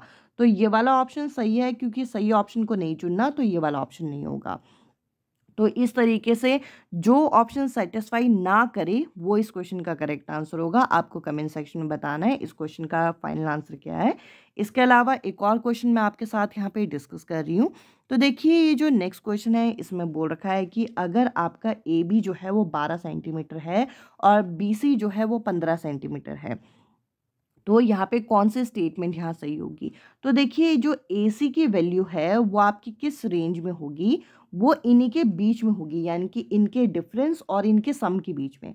यानी कि सबसे छोटी वैल्यू क्या होगी? कि इनको आप माइनस करोगे और सबसे बड़ी वैल्यू क्या हो सकती है? ये इनको प्लस करोगे। सिंपल सा कहने का मतलब क्या है कि ए सी की वैल्यू का रेंज इनके गैप के बीच में होगा, यानी कि तीन और सत्ताईस के बीच में होगा, ये आपका रूल बोलता है। ये एक प्रॉपर्टी है ट्राइंगल की, जो आपको पता होनी चाहिए। आई होप यहाँ तक का सेशन आपको पसंद आया होगा। अब चलिए हम आगे के सेशन को यहाँ पे कंटिन्यू करें। अब मैं आपके साथ दो और इंपॉर्टेंट कॉन्सेप्ट यहाँ पे डिस्कस करूँगी। अब देखिए, हम लोगों को एग्ज़ाम में एक क्वेश्चन इस चीज़ का पूछा जाता है कि हमें किसी नंबर का स्क्वायर रूट यानी कि वर्गमूल जो है, ये निकालना होता है। और वर्गमूल निकालने के लिए आपके पास दो अलग अलग मेथड होते हैं। एक होता है प्राइम फैक्टराइजेशन यानी कि अभाज्य गुणनखंड, और दूसरा होता है भाग विधि। तो दोनों ही मेथड से हम प्राइम फैक्टराइजेशन किस तरीके से करेंगे, या फिर आप कह लीजिए कि स्क्वायर रूट किस तरीके से निकालेंगे, ये मैं आपके साथ डिस्कस करती हूँ। और देखिए, इस टॉपिक को देखने के बाद आपको लगेगा ये तो बहुत ईजी है बट इसके क्वेश्चन आप यहाँ पे देखिएगा कि किस तरीके के पूछे जाते हैं। क्योंकि देखिए, जिस तरीके के क्वेश्चन आपके एग्ज़ाम में आने वाले हैं, आप उसके लिए अगर पहले से प्रिपेयर हैं तो आपको क्वेश्चन सॉल्व करने में वो वहाँ पे एक कॉन्फिडेंस जो है मन में बना रहेगा। अब देखिए, अगर मेरे पास ऐसे दो अलग अलग नंबर नंबर हैं और दोनों को ही मुझे डिफरेंट तरीके से प्राइम फैक्टराइजेशन और डिवीज़न मेथड यानी कि भाग विधि और अभाज्य गुणनखंड से यहाँ पे स्क्वायर रूट निकालना है तो मैं कैसे निकालूँगी? तो सबसे पहले तो अभाज्य यानी कि प्राइम फैक्टर का मतलब क्या है? प्राइम वो होते हैं ऐसे नंबर, प्राइम नंबर उन संख्याओं को कहते हैं जो कि अपने या फिर एक के अलावा किसी और टेबल से नहीं जाता। तो सबसे पहले अगर मैं प्राइम फैक्टराइजेशन करूँगी तो मैं दो से यहाँ पे स्टार्ट करूँगी। दो आपका सबसे छोटा प्राइम नंबर कहलाता है। तो दो से हम शुरू कर रहे हैं। दो की टेबल में तीन नहीं आता तो हमने एक बारी में इसे यहाँ पे डिवाइड करके इसे मैं यहाँ डिवाइड करते चली जाऊँगी तो 162 आ जाएगा। आप दो से इसे भाग करके देखिएगा। ये नंबर फिर से दो की टेबल से भाग होगा और 81 यहाँ पे आ जाएगा। अभी मैंने आपके साथ डिविजिबिलिटी रूल जो है वो डिस्कस किया था, विभाज्यता के नियम में ये बताया था कि दो से भाग होने वाली संख्याएँ वो होती हैं जिसका लास्ट डिजिट आपका दो से भाग हो। पहले केस में चार था, इस केस में दो था, इस केस में एक है। एक आपका दो की टेबल से भाग नहीं होता।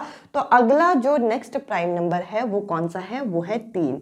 तो तीन की टेबल में ये जो एटी है, ये सत्ताईस बार में जाएगा और ये जो सत्ताईस है, आपको पता है तीन की टेबल में जाता है कितने बार में? नौ बार में। और नौ जो है, ये तीन की टेबल में ही जाएगा और तीन जो है, तीन की टेबल में जाएगा। तो अगर मैं कहूँ कि इसके कितने प्राइम फैक्टर बने हैं तो आप कहेंगे कि दो की पावर दो हम इस तरीके से लिख सकते हैं और तीन की पावर कितनी? तीन की पावर चार। तो यहाँ पर आप इस तरीके से प्राइम फैक्टराइज इसे यहाँ पे कर सकते हैं। और इसको किस तरीके से एग्ज़ाम में क्वेश्चन में यूज़ किया जाता है, अभी मैं आपके साथ डिस्कस करूँगी। अब यहाँ पे अगर आपको भाग विधि से किसी भी संख्या का यहाँ पे वर्गमूल यानी कि जो आपका स्क्वायर रूट है, ये निकालना होगा तो आप कैसे निकालेंगे? तो देखिए, यहाँ 529 एक नंबर लिखा हुआ है, इसका मैं आपको करके दिखाती हूँ। अगर आपको भाग विधि से डिविजन मेथड से इस क्वेश्चन को सॉल्व करना है तो आपको पीछे से जोड़े यहाँ पे बनाने हैं। तो अगर मैं पीछे से जोड़ा बनाती हूँ तो एक बनेगा उनतीस और एक पाँच अकेला रह जाएगा। तो ये जो स्क्वायर रूट आप निकालोगे, ये जोड़ों में निकालना होता है। और जोड़ों में निकालने के लिए हम क्या करेंगे, ये टेबल भी इसी तरीके से पढ़ेंगे। जैसे कि वन वन ज़ा वन टू टू ज़ा टू थ्री थ्री ज़ा थ्री फोर फोर ज़ा मतलब I mean sorry one one ज़ा वन टू टू ज़ा फोर थ्री थ्री ज़ा नाइन तो इस तरीके से हम यहाँ पे जोड़ों में ही इसे मल्टीप्लाई करते चले जाएँगे। आई होप ये चीज़ें आपको क्लियर हुए होंगी। तो वन वन ज़ा वन आएगा तो देखिए अगला नंबर है टू टू ज़ा फोर तो दो और दो को अगर हम मल्टीप्लाई करेंगे तो चार आएगा, तीन तीन आएगा, नौ। तो नौ तो पाँच से बड़ा है तो दो और दो को हम यहाँ पे ले सकते हैं तो यहाँ पर कितना आ जाएगा, चार। तो मैं माइनस करूँगी तो यहाँ पे बचेगा एक। आपको नेक्स्ट स्टेप में क्या करना है, इन दोनों को जोड़ देना है। इन दोनों को अगर हम जोड़ेंगे और जोड़ के लिखेंगे तो यहाँ पे आ जाएगा आपका चार। क्या किया मैंने? इस दो को इस दो के साथ यहाँ पे जोड़ दिया। अब यहाँ पे एक बचा था। अब अगले केस में आपको करना क्या होता है कि जो जोड़े आपने बनाए, उन जोड़ों को आपको एक साथ ही उतारना होता है। अब क्योंकि हमने कहा कि पेयरिंग चलेगी तो ये जो चार है, इस चार के साथ एक एक को जोड़कर हम मल्टीप्लाई करेंगे तो कितना आएगा? फोर्टी अगर चार के साथ दो दो मिलाएँगे तो यहाँ पर कितना आ जाएगा? यहाँ पे आ जाएगा फोर और यहाँ पे आ जाएगा एट अगर हम तीन तीन जोड़ते हैं तो यहाँ पर कितना आएगा? यहाँ पे आ जाएगा दो सौ उनतीस, यानी कि आपका जो अगला पेयर यहाँ पे बनेगा, एक तीन यहाँ पे आएगा, एक तीन यहाँ पे आएगा। तो एक सौ उनतीस पूरा यहाँ पे भाग हो गया। तो इसका मतलब क्या है? कि टू यहाँ पे 529 किसका यहाँ पर वर्गमूल है? किसका स्क्वायर रूट है यहाँ पे? तेईस का। आई होप ये दोनों टाइप और ये दोनों क्वेश्चन आपको यहाँ पे क्लियर हुए होंगे। अभी मैं आपके साथ क्वेश्चन डिस्कस करूँगी। बट इससे पहले हम लोग यहाँ पे घातांक और घात, यानी कि एक्सपोनेंट इन पार के कुछ फॉर्मूले में आपके साथ डिस्कस करना चाहती हूँ। इसके भी क्वेश्चन आपको डेफिनेटली देखने को मिलेंगे। मैं आपके साथ वो सभी टॉपिक्स डिस्कस कर रही हूँ और उन सभी टॉपिक्स के क्वेश्चन डिस्कस कर रही हूँ, जो कि लास्ट आपके जो फाइव से सिक्स ईयर में आपके रिपीटेडली यहाँ पे पूछे गए हैं इंक्लूडिंग ये वाला साल जो 20 अगस्त का आपका पेपर हुआ था। अगर मैं एक्सपोनेंट एंड घातांक और घात की बात करूँ तो सबसे पहले, सबसे बेसिक आपका जो कॉन्सेप्ट बनता है कि अगर किसी की भी पावर ज़ीरो होती है, चाहे कितना भी बड़ा नंबर हो तो उसका आंसर हमेशा वन आएगा, चाहे वो हज़ार की पावर ज़ीरो क्यों ना हो।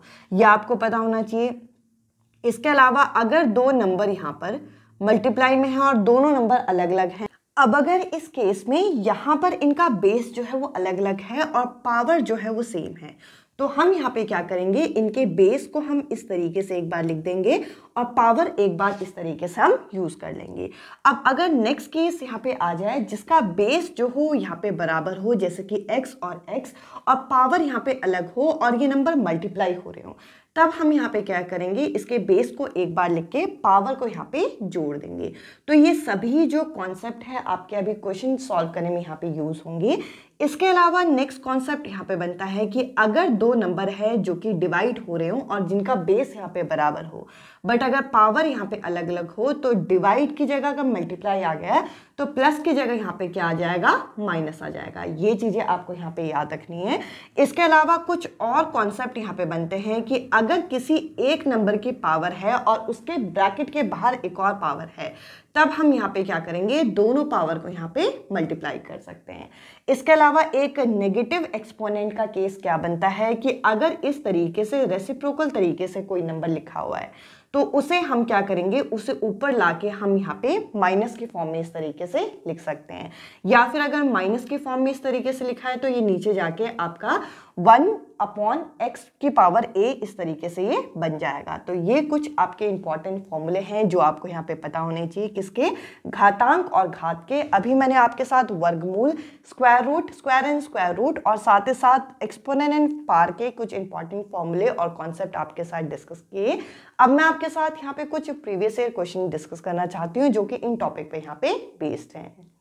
अब हम इस सेशन को यहाँ पे कंटिन्यू करते हैं और देखिए, ये मैंने एक टाइप का क्वेश्चन लिया हुआ है, जिसमें आपको क्या करना है नॉर्मल इस इक्वेशन को यहाँ पे सॉल्व करना है, जिसमें आपको p की वैल्यू दे रखी है, q की वैल्यू दे रखी है और r की वैल्यू दे रखी है। और पी क्यू आर को आपको किस तरीके से सेटिस्फाई करना है कि पी को क्यू से माइनस करना है और आर से यहाँ पे इसे प्लस करना है और इनको यहाँ पे सिंप्लीफाई करना है।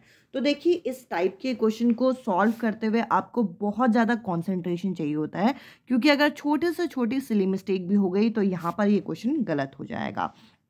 सबसे पहले आप इस इक्वेशन को लिखोगे यहाँ पे ten X square minus eight Y square plus यहाँ पे फाइव एक्स, वाई, आपने इस तरीके से यहाँ पे लिख दिया। इसके बाद क्यू के साथ इसे माइनस करना है तो सारे साइन यहाँ पे उल्टे हो जाएँगे, क्योंकि माइनस प्लस होता है माइनस। तो सभी साइन को आप उल्टा करते हुए चलना अगर आप साइन को रिवर्स नहीं करोगे तो आपके क्वेश्चन का जो आंसर है वो सही नहीं आएगा। और आर का साइन वही रहेगा। क्यों वही रहेगा? क्योंकि आर को यहाँ पे प्लस करना था। तो हमने इस तरीके से यहाँ पे लिख लिया। अब जब आप इस स्टेप को यहाँ पे पहुँच जाओ तो इसके बाद आपको क्या करना है? लाइक like टर्म्स को इकट्ठा कर लेना होता है। यानी कि एक्स स्क्वायर वालों को साथ में सॉल्व करना है, जैसे कि ये हो गया, इसके बाद ये हो गया और ये वाला टर्म हो गया। तो एक्स स्क्वायर वाले टर्म्स को आपको यहाँ पे साथ में सॉल्व करना होगा और आप यहाँ पे जब इसे सॉल्व करोगे तो देखिए इन दोनों के सामने यहाँ पे जैसे थ्री एक्स स्क्वायर और थ्री एक्स स्क्वायर के सामने माइनस का साइन है। माइनस माइनस हो जाता है प्लस यानी कि सिक्स एक्स स्क्वायर हो जाएगा। टेन में से सिक्स माइनस करोगे तो फोर एक्स स्क्वायर यहाँ पे बचेगा सबसे पहले। इसके बाद वाई वाली टर्म को आपको साथ में सॉल्व करना है। तो देखिए वाई वाली टर्म को जब मैं साथ में सॉल्व करूँगी तो माइनस एट वाई स्क्वायर और plus eight Y square cut जाएगा। तो यहाँ पे क्या बचेगा? सिर्फ़ ये वाला वाई का टर्म बचेगा जो कि है माइनस टेन वाई स्क्वायर तो मैंने यहाँ पे लिख दिया। इसके बाद एक्स वाई वाली टर्म को अगर हम देखें तो एक्स वाई वाली टर्म में आप यहाँ पे देखोगे कि फाइव एक्स स्क्वायर और nine X square, sorry, five X Y और नाइन फोर एक्स वाई है फाइव और फोर क्या बन जाएगा? नाइन और नाइन को अगर मैं ट्वेल्व में से माइनस करूँ तो यहाँ पे क्या आ जाएगा? थ्री और क्योंकि ट्वेल्व वाला टर्म बड़ा है, इसलिए माइनस थ्री वाई यहाँ पर जो करेक्ट आंसर आएगा, आपका बी ऑप्शन में यहाँ पे बैठ रहा है। आई होप इस टाइप के क्वेश्चन आएँगे तो आप यहाँ पे कर ही लोगे। अब मैं आपके साथ नेक्स्ट क्वेश्चन यहाँ पे डिस्कस करती हूँ। नेक्स्ट क्वेश्चन में हम लोगों को यहाँ पे इसका स्क्वायर रूट निकालना है। आपके पास मेथड्स हैं डिफरेंट आप प्राइम फैक्टराइजेशन मेथड से भी निकाल सकते हैं डिवीज़न मेथड से भी निकाल सकते हैं, जिस भी मेथड से आप चाहें। तो 769 का अगर आप निकालेंगे तो यहाँ पर आपको देखने को मिलेगा कि एट टू जो है वो एट टाइम्स आएगा और थ्री के पावर वन आएगा। इसको आप सॉल्व करिएगा। और अगर आप three thousand two hundred sixty nine का अगर आप, सिक्सटी सेवन का अगर आप निकालेंगे तो थ्री के पार थ्री और इलेवन के पार टू आ जाएगा। तो बेसिक जो चीज़ें हैं, यहाँ पे मैंने वो चीज़ें यहाँ पे पेन डाउन कर दिया। इसके अलावा अगर हम यहाँ पे आगे देखें तो ये जो वन फोर्टी फोर है, वो आपका ट्वेल्व का स्क्वायर रूट होता है तो हमने ट्वेल्व सीधा लिख दिया। अब आपको यहाँ पे पेयरिंग करनी है। टू के पावर एट जो है, रूट के बाहर आके टू के पावर फोर बन जाएगा। इसके अलावा थ्री के पावर वन और थ्री के पावर थ्री जो है, दोनों कंबाइन होके थ्री के पावर फोर बन जाएँगे और थ्री के पावर फोर भी ब्रैकेट के बाहर आके मतलब रूट के बाहर आके थ्री के पावर टू बन जाएगा और इलेवन के पावर टू जो है वो इलेवन बन जाएगा। बेसिकली रूट के बाहर आके वो पावर सिंगल हो जाती हैं। तो यहाँ पर हमने इसे ट्वेल्व से डिवाइड कर दिया। इसे जब आप ट्वेल्व से डिवाइड करेंगे तो यहाँ पर आपके पास क्या बच जाएगा? अब जब आप इसे सिंप्लीफाई करेंगे तो सिंप्लीफाई करने के बाद आपका फाइनल आंसर आ जाएगा four into three into eleven अगर आप इसे मल्टीप्लाई करते हैं तो यहाँ पे आंसर आ जाएगा वन थर्टी टू जो कि आपको सी ऑप्शन में यहाँ पे मिल रहा है। इसके अलावा अब हम एक और नेक्स्ट क्वेश्चन यहाँ पे डिस्कस करते हैं और ये सभी क्वेश्चन जो मैं आपके साथ डिस्कस कर रही हूँ, ये आपके प्रीवियस ईयर में पूछे गए हैं। तो आप टेंशन फ्री होके इन सभी क्वेश्चंस को करिए और इन सभी क्वेश्चंस को आसानी से समझने की कोशिश करिए। सबसे पहले तो आपको सिक्स सेवेंटी फाइव का यहाँ पे स्क्वायर रूट जो है वो आपको बनाना होगा। यानी कि स्क्वायर रूट जो है आपको कैलकुलेट करना होगा। तो आपको यहाँ पे स्क्वायर रूट इसका क्या मिलेगा कि जो फाइव के पावर है फाइव के पावर तो टू आपको मिलेगा और थ्री के पावर आपको यहाँ पे थ्री मिल जाएगा। इस तरीके से आपको यहाँ पे सिंप्लीफाई करना है। इसके अलावा यहाँ पर अगर मैं, यहाँ जो नीचे लिखा हुआ है nine thousand four hundred eight इसका अगर मैं प्राइम फैक्टराइजेशन करती हूँ तो इसका प्राइम फैक्टराइजेशन करने के बाद आपको यहाँ पे टू की पावर कितनी मिल जाएगी? टू की पावर यहाँ पे मिल जाएगी सिक्स और इसके अलावा सेवन जो है वो दो बार मिल जाएगा और थ्री जो है वो एक बार मिल जाएगा। इसका आप प्राइम फैक्टराइजेशन करके देख सकते हैं। तो देखिए, सबसे पहले जो पेयरिंग में बन रहे हैं, उसको आप बाहर निकाल दीजिए। तो आप कहेंगे कि थ्री के पावर टू और फाइव के पावर टू पेयरिंग में बन रहे हैं। पेयर के बाहर आके सिंगल हो जाएँगे, यानी कि फाइव और थ्री बन जाएगा। फाइव थ्री से कितना होता है? फिफ्टीन और एक तीन का पेयर नहीं बना था तो हमने इस तरीके से लिख दिया। नीचे अगर हम देखें तो टू के पावर सिक्स अगर हम यहाँ पे रूट के बाहर निकाल देंगे तो टू के पावर थ्री बन जाएगा। सेवन के पावर टू जो है, वो सेवन बन जाएगा। तो टू की पावर थ्री क्या होता है? एट एट सेवन ज़ा होता है, फिफ्टी सिक्स। फिफ्टी सिक्स और नीचे कितना आ जाएगा? Root three. रूट थ्री से रूट थ्री यहाँ पे कट जाएगा तो ए बाई बी की वैल्यू आपके पास क्या आ गई? ए यहाँ पे आ गया आपके पास फिफ्टीन बी यहाँ पे आ गया आपके पास फिफ्टी सिक्स फिफ्टीन और फिफ्टी सिक्स को जब आप यहाँ पे जोड़ेंगे तो आपके पास आंसर कितना आ जाएगा? सेवेंटी वन जो कि आपको यहाँ पे पहले ऑप्शन में मिल रहा है। मैं उम्मीद करूँगी कि ये क्वेश्चंस करने के बाद आपको एक कॉन्फिडेंस आ रहा होगा और साथ ही साथ आपको एक आइडिया लग रहा होगा कि किस तरीके के क्वेश्चन आपके पेपर में पूछे गए हैं। तो देखिए, यहाँ पर इस क्वेश्चन को हम एक्सपोनेंट पार के कॉन्सेप्ट से भी सॉल्व कर सकते हैं। अब देखिए, यहाँ पे टू के पार माइनस वन दे रखा है। टू के पार माइनस वन को मैं कैसे लिख सकती हूँ? वन बाई टू इसके बाद फाइव के पार वन माइनस वन को कैसे लिख सकती हूँ? वन बाई फाइव इसके बाद यहाँ पे डिवाइड का साइन है और डिवाइड के साइन के साथ साथ हमें यहाँ पे क्या दे रखा है? यहाँ पे एट की पावर माइनस वन इसे मैं वन बाई एट लिख सकती हूँ। तो मैंने इस तरीके से इसे लिख दिया। इसे आप अभी क्लोज ब्रैकेट में ही रहने दीजिए। डिवाइड का साइन यहाँ पे है बीच में और यहाँ पे हमें क्या दे रखा है? यहाँ पे हमें दे रखा है फोर के पावर माइनस वन और एट के पावर माइनस वन यहाँ पे हमें ये टर्म्स दे रखी है और इसकी पावर भी हमें माइनस में दे रखी है। तो हम इसे कैसे लिख सकते हैं? यहाँ पे हम लिख सकते हैं फोर वन बाई फोर और यहाँ पे हम लिख सकते हैं वन बाई एट तो मैंने इस तरीके से इतना लिख के इसे छोड़ दिया।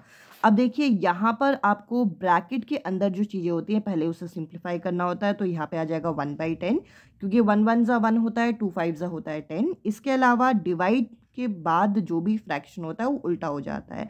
तो यहाँ पे हो जाएगा एट बाई वन तो मैं इसे इस तरीके से लिख सकती हूँ। साथ ही साथ अगर आप इनका एलसीएम लेंगे तो एलसीएम आएगा एट और एलसीएम से सॉल्व करेंगे तो थ्री बाई एट यहाँ पे आ जाएगा। इसकी पावर भी अभी क्या है? इसकी पावर भी अभी यहाँ पे नेगेटिव है। जब आप इसे सिंप्लीफाई करेंगे तो यहाँ पे सिंप्लीफाई करके फोर बाई फाइव यहाँ पे आ जाएगा।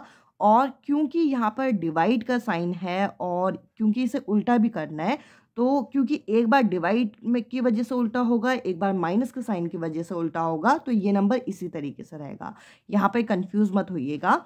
नेगेटिव पावर की वजह से एक बार रेसिप्रोकल होगा डिवाइड की वजह से, क्योंकि डिवाइड को मल्टीप्लाई में चेंज कर रहे हैं तो एक और बार रेसिप्रोकल होगा, इसी वजह से ये नंबर आया है। अब आप इसे सॉल्व करेंगे तो यहाँ पर आपका फाइनल आंसर क्या आ जाएगा। यहाँ पर फाइनल आंसर आ जाएगा थ्री बाई टेन क्योंकि फोर और एट यहाँ पे कट जाएँगे।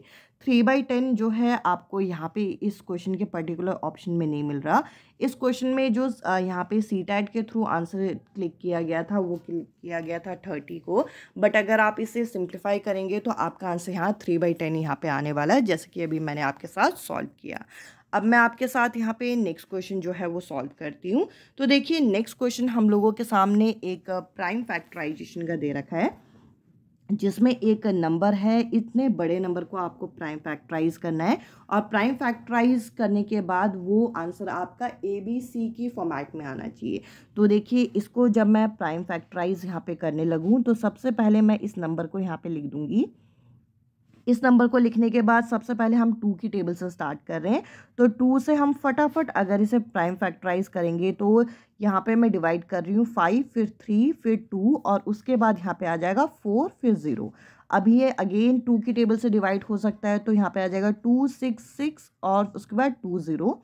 उसके बाद अगेन ये टू की टेबल से हो सकता है one, three three, one, zero और अगेन ये अभी टू की टेबल से जाएगा कितने बार में? सिक्स सिक्स फाइव फाइव अगर आप ये नंबर देखो तो ये नंबर देख के लग रहा है कि फाइव की टेबल से जा सकता है। सॉरी इलेवन की टेबल से जा सकता है। इलेवन की टेबल से अगर मैंने डिवाइड किया तो सिक्स ज़ीरो फाइव आया। इलेवन की टेबल से ये फर्दर यहाँ पे डिवाइड होगा और इलेवन की टेबल से फिफ्टी फाइव टाइम्स में अगेन ये इलेवन की टेबल से यहाँ पे डिवाइड हो सकता है, वो भी फाइव टाइम्स में। तो यहाँ पर आप क्या करोगे, इलेवन की टेबल से आपने फाइव टाइम्स फिर से यहाँ पे डिवाइड किया और लास्ट में फाइनली ये फाइव की टेबल से डिवाइड हो जाएगा। तो हमने इस तरीके से इसको यहाँ पे पेन डाउन कर दिया। अब पेन डाउन करने के बाद आपको ये चीज़ यहाँ पे क्लियर हो रही है कि टू के पावर कितनी बार आ रही है, टू के पावर यहाँ पे फोर टाइम्स आ रहा है। और ए के पावर फोर दे रखा है तो ए की वैल्यू क्या होगी, ए की वैल्यू होगी टू। बी जो है, वो एक बार आ रहा है और फाइव यहाँ पे एक बार आ रहा है तो बी की वैल्यू क्या होगी फाइव और सी की पावर यहाँ थ्री दे रखी है और इलेवन जो है वो थ्री टाइम्स आ रहा है। तो सी की वैल्यू क्या होगी? इलेवन ए बी सी की वैल्यू आ गई, इसमें आप पुट करिए और फाइनल आंसर जो आएगा, आपका यहाँ पे आएगा फाइव जो कि आपको सी ऑप्शन में यहाँ पे दे रखा है। आई होप इस टाइप के क्वेश्चन आपको यहाँ पे क्लियर हो रहे होंगे। अब देखिए, एक और क्वेश्चन हम लोगों को यहाँ पे दे रखा है जिसमें यहाँ पे बोल रखा है कि which least number must be subtracted from this to make a perfect square यानी कि इसमें से कौन सा लीस्ट नंबर है जिसको आप सब्सट्रैक्ट कर सकते हो ताकि परफेक्ट स्क्वायर आ जाए? लॉन्ग डिविजन मेथड से कभी भी ऐसा क्वेश्चन आए तो लॉन्ग डिविजन मेथड सॉल्व करिएगा। दो दो के पेयर बनाए तो यहाँ पे आ जाएगा सिक्स सिक्स क्या आ जाएगा? थर्टी सिक्स आ जाएगा। माइनस करोगे तो यहाँ पे आ जाएगा दो। कभी भी पेयर वाली चीज़ों को जोड़ों में ही उतारते हैं। यहाँ पे छः और छः को जोड़ेंगे तो कितना आ जाएगा? बारह। अगर आप यहाँ पे दो और यहाँ पर दो लिखते हैं तो अगला नंबर क्या आ जाएगा? यहाँ पे टू फोर्टी फोर और माइनस करके कितना आ जाएगा? छः यानी कि अगर मैं इस नंबर में से क्या करूँ? इस नंबर में से मैं छः हटा दूँ छः सब्सट्रैक्ट कर दूँ तो ये जो नंबर है, ये एक परफेक्ट स्क्वायर बन जाएगा। इस वजह से इस क्वेश्चन का फाइनल आंसर क्या हो जाएगा यहाँ पे? छः आई होप इतना क्वेश्चन और इतने सेशन यहाँ पे पसंद आए होंगे। अब चलिए मैं आगे के सेशन को यहाँ पे कंटिन्यू करती हूँ और मैं उम्मीद करूँगी कि ये सेशन आप लास्ट तक कंटिन्यू करेंगे। अब हम इस सेशन को यहाँ पे कंटिन्यू करते हैं और आप यहाँ पे दो तरीके के फ्लो चार्ट को देख पाएँगे, जिसमें यहाँ पर आप देखेंगे 2D शेप्स जो हमारे होते हैं, जैसे कि त्रिभुज हो गया, इसके अलावा आयत हो गया, वर्ग हो गया, यहाँ पे रोम्बस पैलेलोग्राम ट्रेपीजियम सर्कल हो गए। ये सभी 2D शेप्स हैं और इनके परिमाप, यानी कि जो इनका पैरामीटर होता है, इससे संबंधित आपको सूत्र दे रखे हैं। और साथ ही साथ इनका जो एरिया यानी कि क्षेत्रफल होता है, ये फॉर्मूले आपको बाई हार्ट लर्न होनी चाहिए। अगर आपको ये जो 2D और 3D शेप्स हैं, इनके अगर आपको सूत्र याद हैं तो इनके क्वेश्चन बहुत ईजी आते हैं। सबसे ज़्यादा जो कंफ्यूजन आप लोगों में बनी रहती है, वो इनके सूत्रों से संबंधित है। ट्राइंगल यानी कि त्रिभुज की बात करें तो परिमाप कैसे निकलेगा? तीनों साइडों को जोड़ दीजिएगा, यहाँ पे परिमाप निकल आएगा। एरिया निकालने का एक फॉर्मूला होता है हाफ़ बेस इंटू हाइट और एक फॉर्मूला वो जो हिरोन्स फॉर्मूला मैंने आपके साथ डिस्कस किया था। अगला अगर हम आयत की बात करें तो देखिए, आयत की दो साइडें अपोजिट साइडें बराबर होती हैं तो इसका परिमाप आता है कैसे? Two into L plus B और क्षेत्रफल इसका कैसे निकलता है? यहाँ पे एल इंटू बी करके।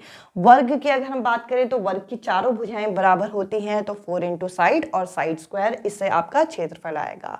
रोम्बस की चार साइडें होती हैं और इसके डायगनल एक दूसरे को इंटरसेक्ट करते हैं। तो इसका एरिया जो निकलता है half D one into D two D one क्या है? डी टू क्या है? इसके बीच का ये जो डायगनल होता है, इनको हम बोलते हैं डी वन और डी टू अब पैलेलोग्राम की हम बात करें तो पैलेलोग्राम में भी आपको चार साइड इस तरीके से दिख जाएँगी। जो अपोजिट साइड होती हैं, वो एक दूसरे के पैरेलल होती हैं और यहाँ पर आप देखेंगे कि इसका परिमाप तो चारों साइडों को जोड़ दीजिए और एरिया होता है बेस इंटू हाइट ट्रेपीजियम की अगर हम बात करें तो ट्रेपीजियम कुछ इस तरीके से दिखता है। इसका जो यहाँ पे पैरेलल साइड्स होते हैं, इनके अगर, इनको अगर हम सम करें और यहाँ पर इसके बीच के जो हाइट होती है पैरेलल साइड के बीच की हाइट को हम लेके इसे अगर हम आधा कर दें तो इसका एरिया आ जाएगा। और इसका परिमाप निकालने के लिए इसके चारों साइड को आप जोड़ सकते हैं। अब अगर हम सर्कल की बात करें तो सर्कल का यहाँ पे परिमाप ना बोल के इसका सरकमफ्रेंस बोला जाता है। तो इसका सरकमफ्रेंस आता है टू पाई आर से पाई यहाँ पे होता है ट्वेंटी टू बाई सेवन या क्वेश्चन में अगर थ्री पॉइंट वन फोर लेने को बोले तो थ्री पॉइंट वन फोर लीजिएगा। अदरवाइज़ इसका क्षेत्रफल यहाँ पे एरिया जो निकलता है पाई आर स्क्वायर से। इसके अलावा थ्री डी शेप जिसमें सबसे ज़्यादा कन्फ्यूज़न होती है, क्योंकि फॉर्मूले बहुत आपस में क्लैश करते हैं, जिसमें आपको यहाँ पे घन लाभ हो गया, घन हो गया सिलेंडर हो गया, यानी कि बेलन हो गया कोन हो गया, स्फेयर हो गया, हेमिस्फेयर, इनके आपको सूत्र याद करने हैं। इसका अगर आपको आयतन निकालना है तो आयतन निकालने के लिए, वॉल्यूम निकालने के लिए तो क्यूबॉइड का होता है L into B into H cone का होता है ए क्यूब सिलेंडर का होता है pi R square H cone का होता है one by three pi R square H यानी कि इसी फॉर्मूले में वन बाई थ्री लगा दीजिए। स्फेयर में, क्योंकि हाइट होती नहीं है तो four by three pi R cube और हेमिस्फेयर इसका आधा कर लीजिए फोर का आधा कर दिया। अब टोटल सरफेस एरिया मतलब सारी साइडों को कवर करना। और अगर मान लीजिए कि आप अपने घरों को पेंट करते हैं तो आप फ्लोर को और आप टॉप को यानी कि सीलिंग को अलग कलर से पेंट करते हैं। तो आप जब दीवारों की बात करें, तब यहाँ पे हम curve surface area C S A निकालते हैं और ए के ये फॉर्मूले हो गए। तो बेसिकली टू डी शेप और थ्री डी शेप के ये सभी फॉर्मूले आपको अच्छे से याद होने चाहिए क्वेश्चन को सॉल्व करने के लिए। अब मैं आपके साथ इन दोनों के कंबाइंड क्वेश्चन यहाँ पे डिस्कस करती हूँ, ताकि ये टॉपिक भी आपका अच्छे से कंबाइल हो। अब मैं आपके साथ नेक्स्ट टाइप यहाँ पे डिस्कस करना चाहती हूँ, जिसके अंदर मैं आप लोगों के साथ two D and three D shapes के क्वेश्चन यहाँ पे डिस्कस करूँगी। तो देखिए, पहला क्वेश्चन हम लोगों के सामने एक ट्रपीजियम का लिया हुआ है। तो यहाँ पर अगर हम इस ट्रेपीजियम की बात करें और यहाँ पर मैं आपके सामने एक ट्रेपीजियम को ड्रॉ करूँ तो यहाँ पर मैं ड्रॉ करूँगी ए बी सी डी इस तरीके से। अब ए बी सी डी में हम लोगों को बोल रखा है कि ए बी और सी डी जो है, ये आपस में एक दूसरे से पैरेलल साइड्स हैं। तो यहाँ पर मैं ए बी और सी डी इस तरीके से यहाँ पे लिख सकती हूँ। और यहाँ पे बोल रखा है ए बी और सी डी जो है, वो किस रेशियो में है? वो टू इज़ टू वन के। यानी कि अगर ये वन एक्स है तो ये वाली साइड क्या होगी? ये वाली साइड आपकी टू एक्स होगी। हम इस तरीके से एज्यूम कर सकते हैं। और इनके बीच का जो डिस्टेंस है, इनके बीच की जो दूरी है, वो कितने दे रखी है? वो आपको ट्वेंटी सेंटीमीटर यहाँ पे दे रखी है। तो मैं इस चीज़ को यहाँ पे इस तरीके से लिख सकती हूँ। अब बोल रखा है कि अगर इनका क्षेत्रफल यानी कि इनका एरिया जो है, वो अगर 720 है तो आपको बतानी है कि ए बी की लेंथ क्या होगी। तो एरिया ऑफ़ ट्रेपीजियम का फॉर्मूला मैंने आपके साथ क्या डिस्कस किया था कि आपको हाफ़ ले लेना है। हाफ़ के साथ साथ जो हाइट होती है इनके बीच की, वो यानी कि बीस और इसके अलावा जो पैरल साइड्स होते हैं, उनका सम यानी कि अगर एक्स यहाँ पे वन एक्स और टू एक्स है तो दोनों को जोड़ के कितना आ जाएगा? यहाँ पे थ्री एक्स आ जाएगा। तो मैं इस तरीके से यहाँ पे लिख सकती हूँ। और यहाँ पर अगर हम देखें तो इसका एरिया कितना दे रखा है? इसका एरिया हमें यहाँ पे 720 दे रखा है। तो मैं इसे इस तरीके से लिख सकती हूँ। टू और ट्वेंटी यहाँ पे कट के आ जाएगा। टेन एक्स और टेन एक्स और टेन और थर्टी एक्स जो है थ्री एक्स सॉरी टेन और थ्री एक्स क्या हो जाएगा? थर्टी एक्स हो जाएगा। तो यहाँ पर आप इसे सॉल्व करेंगे तो ज़ीरो से ज़ीरो कट जाएगा और थ्री और सेवेंटी टू को अगर आप काटेंगे तो एक्स का मान जो है वो चौबीस आ जाएगा। आपको क्या करना है? आपको यहाँ पे ए बी का यहाँ पे लेंथ जो है वो निकालना है। सॉरी इस क्वेश्चन में मैंने एक यहाँ पे छोटी सी मिस्टेक कर दी। यहाँ पर हमें बोल रखा है कि ए बी और सी डी जो है वो टू इज़ टू वन में तो यहाँ पर ये वाली साइड आपकी सी डी होगी। और ये वाली साइड आपकी ए बी होगी तो इस चीज़ को आप करेक्शन कर लीजिएगा। अगर ए बी जो है वो टू एक्स है तो आपको यहाँ पे क्या करना है, टू इंटू ट्वेंटी फोर यहाँ पर करना है। टू इंटू ट्वेंटी फोर अगर आप करेंगे तो यहाँ पे आ जाएगा फोर्टी एट, जो कि आपको सी ऑप्शन में यहाँ पे मिल रहा है। आई होप ये क्वेश्चन आपको क्लियर हुआ होगा। अब मैं आपके साथ नेक्स्ट क्वेश्चन यहाँ पे डिस्कस करूँगी, जो कि हम लोगों को एक right cylinder right circular cylinder का दे रखा है। और इसका वॉल्यूम जो है, हमें यहाँ पे सात हज़ार तीन सौ कुछ बता रखा है। तो सबसे पहले हम यहीं से क्वेश्चन को शुरू करते हैं। वॉल्यूम ऑफ़ सिलेंडर का फॉर्मूला होता है पाई आर स्क्वायर एच तो देखिए, यहाँ पर जो वॉल्यूम है, वो आप यहाँ पे नोट डाउन कर दीजिए। इसके अलावा पाई की वैल्यू इन्होंने ट्वेंटी टू बाई सेवन लेने को बोला है। आर हमें नहीं पता, आर ही हमें यहाँ पे निकालना है और हाइट जो है वो आपको 12 सेंटीमीटर दे रखी है। अब आपको इसे यहाँ पे सॉल्व करना है तो आर स्क्वायर को आप एक साइड रख लीजिए। बाकी चीज़ें आपकी शिफ्ट हो जाएँगी, सेवन जैसे कि यहाँ पे ऊपर चला जाएगा और यहाँ पर ट्वेंटी टू बाई ट्वेल्व जो है वो नीचे चला जाएगा। जब आप इसे यहाँ पे सॉल्व करोगे तो 196 आएगा और 196 किसका स्क्वायर रूट होता है? ये आपका 14 का स्क्वायर रूट होता है। तो यहाँ पे 14 जो है आर की वैल्यू आ जाएगी। अब आपको यहाँ पे क्या करना है? एरिया ऑफ़ द बेस निकालना है।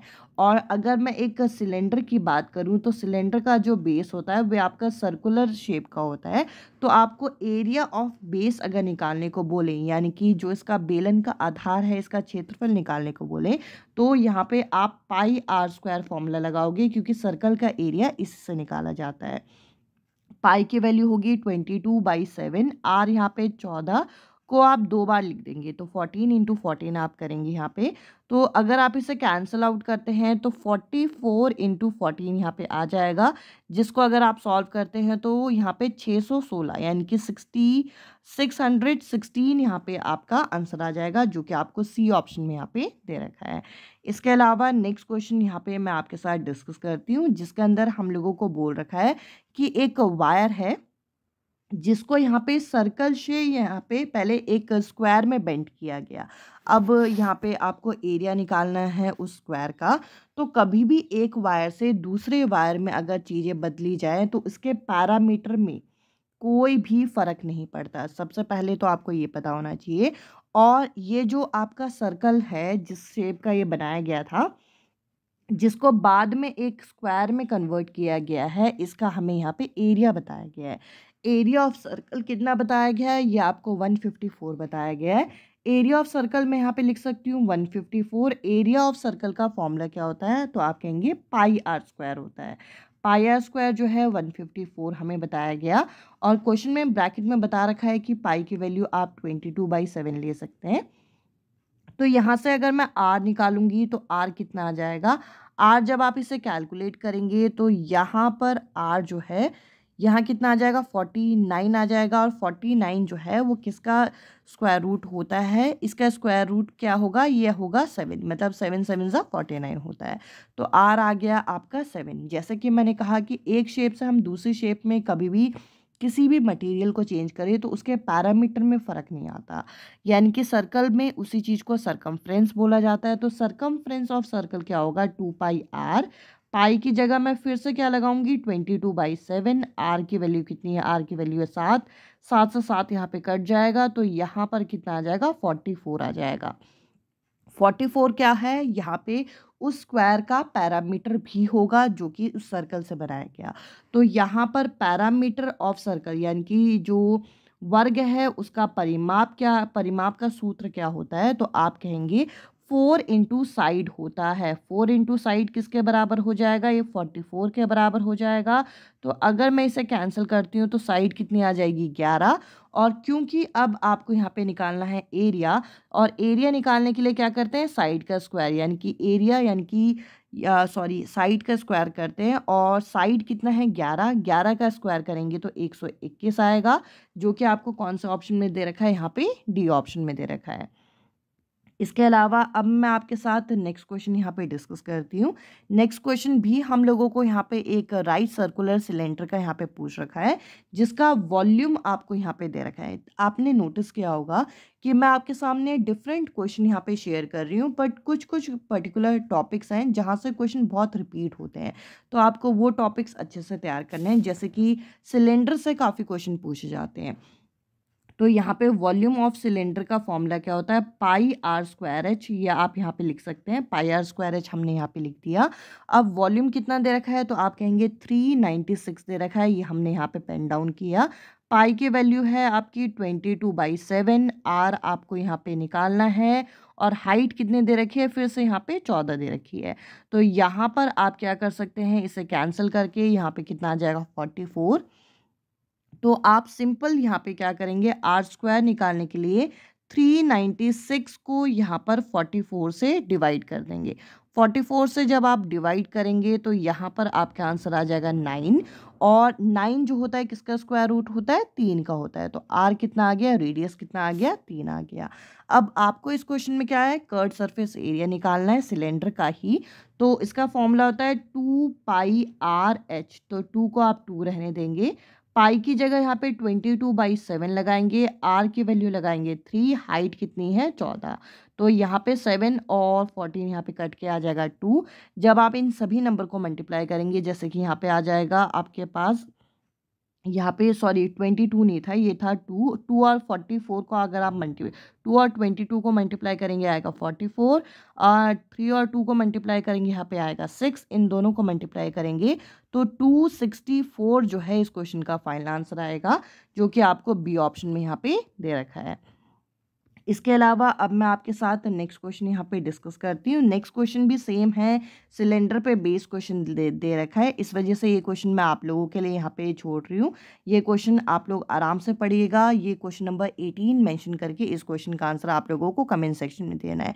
वही आपको पैरामीटर निकालना है यहाँ पे बेस का। बेस जो होता है किसी भी आ, बेलन का सिलेंडर का वो सर्कल शेप का होता है। तो पैरामीटर कैसे निकलेगा? पैरामीटर वही टू पाई आर फॉर्मूले से निकलेगा। क्यों? क्योंकि इसका जो बेस है वो सर्कुलर शेप का है।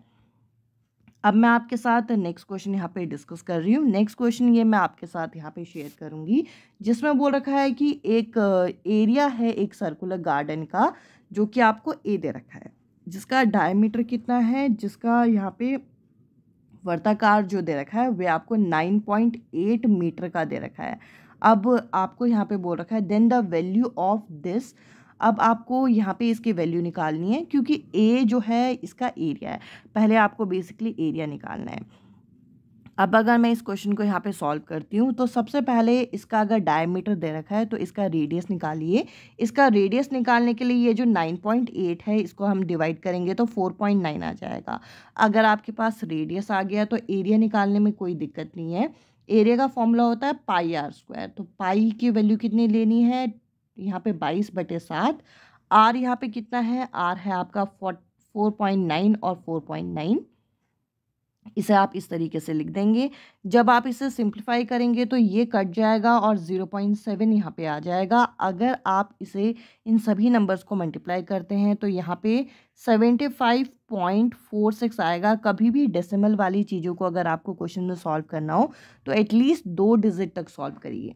अब इस वैल्यू में लगा दीजिए two into seventy five point four six into four point four eight. इसे आप यहाँ पे सॉल्व करेंगे तो यहाँ पे आएगा one fifty point four six. Sorry, one fifty point nine two और यहाँ पे आ जाएगा फोर पॉइंट फोर एट। जब अगर आप इसे ऐड करेंगे तो ध्यान रखिएगा कि डेसिमल के नीचे डेसिमल को रख के आपको ऐड करना है। तो यहाँ पर जो फाइनल आंसर आ जाएगा, one fifty five point four zero आएगा, जो कि आपको यहाँ पे बी ऑप्शन में दे रखा है। आई होप यहाँ तक का सेशन आपको क्लियर हुआ होगा। अब चलिए हम आगे के सेशन को यहाँ पे कंटिन्यू करें। अब जितने भी यहाँ पे रिमेनिंग टॉपिक हैं, उनको मैं आपके साथ साथ में यहाँ पे डिस्कस करूँगी और इन टॉपिक के जो प्रीवियस ईयर क्वेश्चन हैं, वो भी हम क्लब करके करेंगे। तो देखिए, आपसे यहाँ पे सिंपल इंटरेस्ट और कंपाउंड इंटरेस्ट यानी कि साधारण ब्याज और चक्रवर्ती ब्याज से क्वेश्चन यहाँ पे पूछे जाते हैं, जिसके लिए कुछ बेसिक सूत्र आपको पता होने चाहिए। और इनको आप इजीली किस तरीके से अप्लाई करेंगे, ये मैं आपके साथ क्वेश्चन में यहाँ पे डिस्कस करूँगी। तो देखिए, अगर आपको सिंपल इंटरेस्ट निकालना होता है तो ये सिर्फ़ और सिर्फ़ किस पर लगता है? ये सिर्फ़ और सिर्फ़ मूलधन, यानी कि जो आपने प्रिंसिपल लिया है, उस पर लगता है। यानी कि अगर आपने दस हज़ार रुपये का ब्याज लिया है तो दस परसेंट की दर से अगर ब्याज लग रहा है दो साल तक, तीन साल तक तो हमेशा वो 10 परसेंट ही लगेगा हर साल का। और इस केस में अगर आप यहाँ पे साधारण ब्याज सिंपल इंटरेस्ट निकालेंगे तो इसका फॉर्मूला बनेगा P into R into T by hundred और अगर आपको तीन साल बाद कितना अमाउंट कितनी राशि जो है वो देनी है, ये अगर आपको निकालनी है तो देखिए जो पैसा आपने लिया है, वो तो आपको देना ही पड़ेगा। यानी कि जो मूलधन दस हज़ार रुपया वो तो आपको देना ही पड़ेगा। साथ ही साथ जो सिंपल इंटरेस्ट दस साल का, यानी कि दस परसेंट के हिसाब से जितना आपका लगा होगा, वो आप इसमें जोड़ के देंगे। यानी कि दस हज़ार आपने लिया है तो ऐसा हो सकता है कि आपको तीन साल बाद वहाँ पे वो तेरह हज़ार रुपये देने पड़े। तो इस तरीके से सिंपल इंटरेस्ट का कॉन्सेप्ट होता है और जो कंपाउंड इंटरेस्ट यानी कि चक्रवर्ती ब्याज के क्वेश्चन पूछे जाते हैं, वे दो तरीके से पूछे जाते हैं। एक ऐसा होता है जो कि पूरे साल का यहाँ पे लगता है, यानी कि सालाना ब्याज जो होती है वो, यानी कि एनुअली कंपाउंड एनुअली इसे बोलते हैं और एक हाफ़ ईयरली यानी कि आधे साल का। तो देखिए, इसमें आप अमाउंट जो है, आप राशि किस तरीके से निकालेंगे तो जो आपने मूलधन लिया है वो plus one plus R R क्या है? जिस रेट से, जिस दर से आपने लिया है डिवाइडेड बाय हंड्रेड और जितने समय के लिए लिया है। यानी कि दो साल, तीन साल ये इस तरीके से लिया जाता है। और अगर कंपाउंड हाफ़ ईयरली होगा तो रेट का जो दर होगा, उसको आप आधा कर देंगे। और अगर इसी चीज़ को क्वार्टरली बोला जाए, यानी कि एक साल में भी चार क्वार्टर आपको पता है होते हैं, इसे चार से भाग करके तो आर के नीचे क्या लगा दोगे? आप चार लगा दोगे। तो इन फॉर्मूले को कैसे आप इजीली यूज़ कर सकते हैं, ये मैं आपके साथ डिस्कस करूँगी। इसके अलावा यहाँ पे आप लोगों को प्रॉफिट लॉस के भी कुछ क्वेश्चन कुछ क्वेश्चन मैं इसलिए बोल रही हूँ, क्योंकि ज़्यादा आपको यहाँ पे डिस्काउंट के और यहाँ पे सेलिंग प्राइस और कॉस्ट प्राइस के क्वेश्चन आपको देखने को मिलते हैं। तो ये अभी मैं आपके साथ डिस्कस करूँगी। सबसे पहले अगर आपको प्रॉफिट परसेंट निकालना है कि कितना परसेंट का प्रॉफिट हुआ है। तो प्रॉफिट को आप ऊपर लिखेंगे डिवाइडेड बाय सेलिंग प्राइस यानी कि कितने में आपने वो चीज़ आपने बेच दी इनटू हंड्रेड और लॉस परसेंट निकालने के लिए भी वही। यानी कि प्रॉफिट परसेंट और लॉस परसेंट हमेशा किसके बेस निकाला जाता है? जितने में आपने वो सामान बेचा। अगर आपने वो जो सामान बेचा है वो आपका अमाउंट जो है आपने जितने में खरीदा था उससे ज़्यादा होगा। तो यहाँ पे आपको प्रॉफिट होगा और अगर आप कम में बेच देंगे तो वहाँ पे आपको लॉस होगा। अब यहाँ पे आपको सेलिंग प्राइस यानी कि जो आपने चीज़ें सेल कर दी, उससे संबंधित क्वेश्चन पूछा जाता है। जब आपने कोई चीज़ सेल की और उस केस में आपको प्रॉफिट हुआ, तब आप इस फॉर्मूले को लगाएँगे। जो भी यहाँ पे स्टैंडर्ड टर्म है यानी कि हंड्रेड उसमें कितना प्रॉफिट परसेंट हुआ? है दस परसेंट का प्रॉफिट हुआ है तो एक सौ दस by hundred into C P जितने में आपने उस सामान को बेचा होगा। और लॉस में बस इस फॉर्मूले में यहाँ पे माइनस कर देंगे।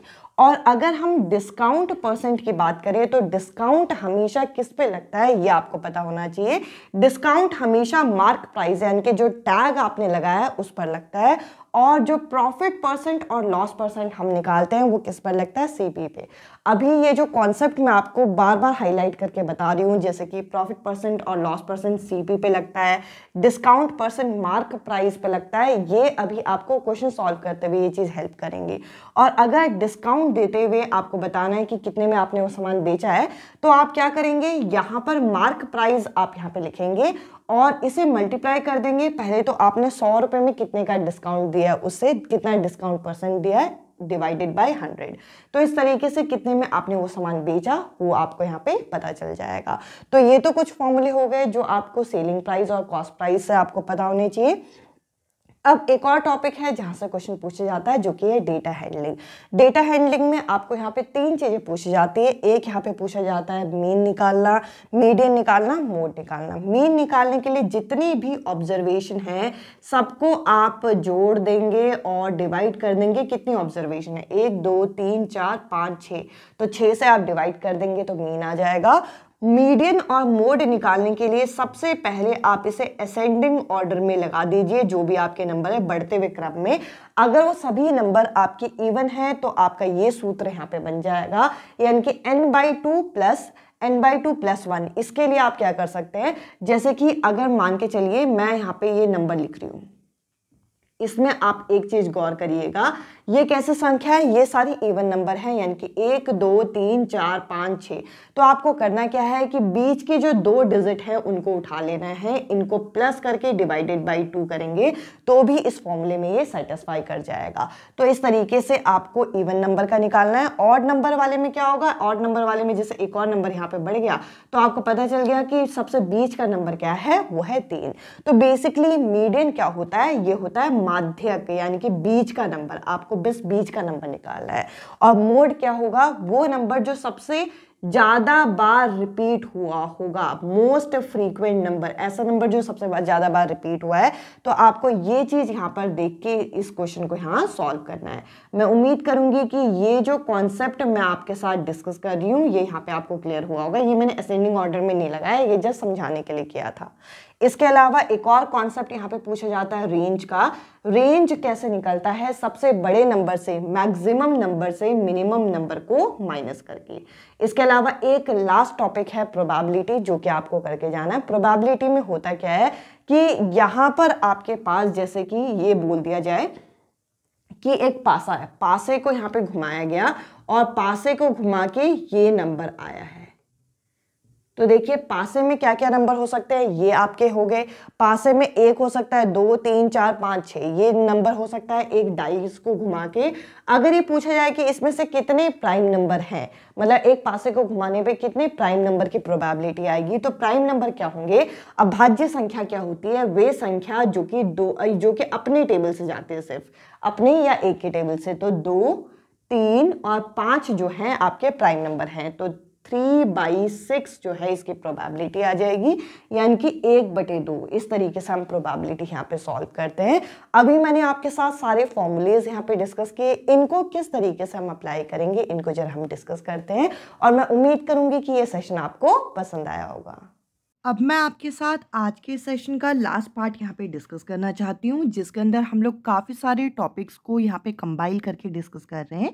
अब देखिए, यहाँ पे आपको अलग अलग नंबर अलग अलग आंकड़े जो हैं दे रखे हैं, जिसमें आपको यहाँ पे परिसर यानी कि इसका रेंज, फिर इसका माध्यक, फिर इसका बहुलक यहाँ पे निकालना है और यहाँ पे आपको क्या करना है, इन सभी चीज़ों को निकाल के इनका माध्य यानी कि इनका मीन निकालना है। इस तरीके के क्वेश्चन अक्सर यहाँ पे सी टाइट के एग्ज़ाम में पूछे जाते हैं। तो एक एक करके आप यहाँ पे इन सभी चीज़ों को निकालेंगे। यहाँ पर अगर मैं रेंज निकालूँ, यानी कि इसका परिसर निकालूं तो सबसे बड़े नंबर से सबसे छोटे नंबर को माइनस करना होगा। तो सबसे बड़ा नंबर है यहाँ पे अठारह और सबसे छोटा नंबर है यहाँ पे पाँच। तो अठारह और पाँच को यहाँ पे आप माइनस करोगे तो यहाँ पे आंसर आ जाएगा तेरह।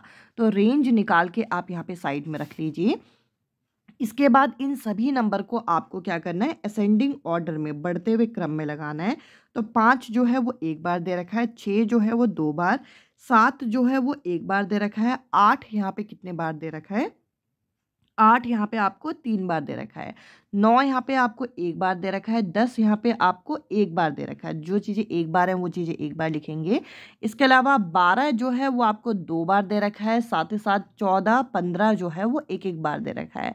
इसके अलावा अठारह जो है वो दो बार दे रखा है। एक बार और आप काउंट कर लीजिएगा कि नंबर यहाँ पे कम ज़्यादा तो नहीं है। अब अगर आप इन सभी नंबर्स को देखते हैं तो ये आपकी विषम संख्या है। तो मीडियन जो है, वो माध्यक जो है, यहाँ पे कैसे निकलेगा? N plus one by two N कितना है? पंद्रह। पंद्रह प्लस एक सोलह बटे दो कितना हो जाएगा? आठवां टर्म आठवां टर्म अगर देखें तो एक, दो, तीन चार, पाँच, छः, सात, आठ। तो यहाँ पर आपका मीडियन कितना आ गया? मीडियन आ गया आपका नौ। तो मैं यहाँ पे लिखूँगी कि मीडियन यहाँ पे मेरा आ गया नौ। और अब आपको क्या निकालना है? मोड निकालना है। मोड यानी कि जो आपका बहुलक होता है, वे आपका निकालना है। बहुलक क्या होता है? ऐसा कोई नंबर जो सबसे ज़्यादा बार रिपीट हुआ है। तो आठ यहाँ पे तीन बार आया है। तो आठ जो होगा, इसका बहुलक होगा। अब आपके पास तीनों चीज़ें आ गई। तो तीनों चीज़ों का आपको क्या निकालना है? इसका माध्य निकालना है, यानी कि मीन निकालना है। यानी कि आपको करना क्या है? तेरह, नौ और आठ को आपको जोड़ना है, डिवाइडेड बाई तीन। तेरह, आठ और नौ को अगर आप जोड़ेंगे तो यहाँ पे आएगा तीस तीस डिवाइडेड बाई तीन क्या, कितना हो जाएगा? यहाँ पे हो जाएगा दस, जो कि आपको कौन सा ऑप्शन मिल रहा है? ये आपको सी ऑप्शन मिल रहा है। इसके अलावा नेक्स्ट क्वेश्चन अब मैं आपके साथ यहाँ पे डिस्कस करती हूँ, जिसके अंदर हम लोगों को बोल रखा है कि एक आर्टिकल है, एक वस्तु है, जो कि जिसमें मार्क प्राइस कितना है, उसके कॉस्ट प्राइस से 25 प्रतिशत यहाँ पे अधिक यहाँ पे दे रखा है। यानी कि जो उसके ऊपर यहाँ पे उसका जो कॉस्ट प्राइस रहा होगा, उससे 25 प्रतिशत ज़्यादा है। अब यहाँ पे बोल रखा है, इफ़ डिस्काउंट ऑफ़ पच्चीस percent is given on the mark price अगर जो मार्क प्राइस है, उस पर पच्चीस परसेंट का डिस्काउंट दिया गया तो उसका प्राइस जो है, कितना रहा होगा? और इसमें उसको यहाँ पे हानि होगी या फिर आपको यहाँ पे लॉस होगा।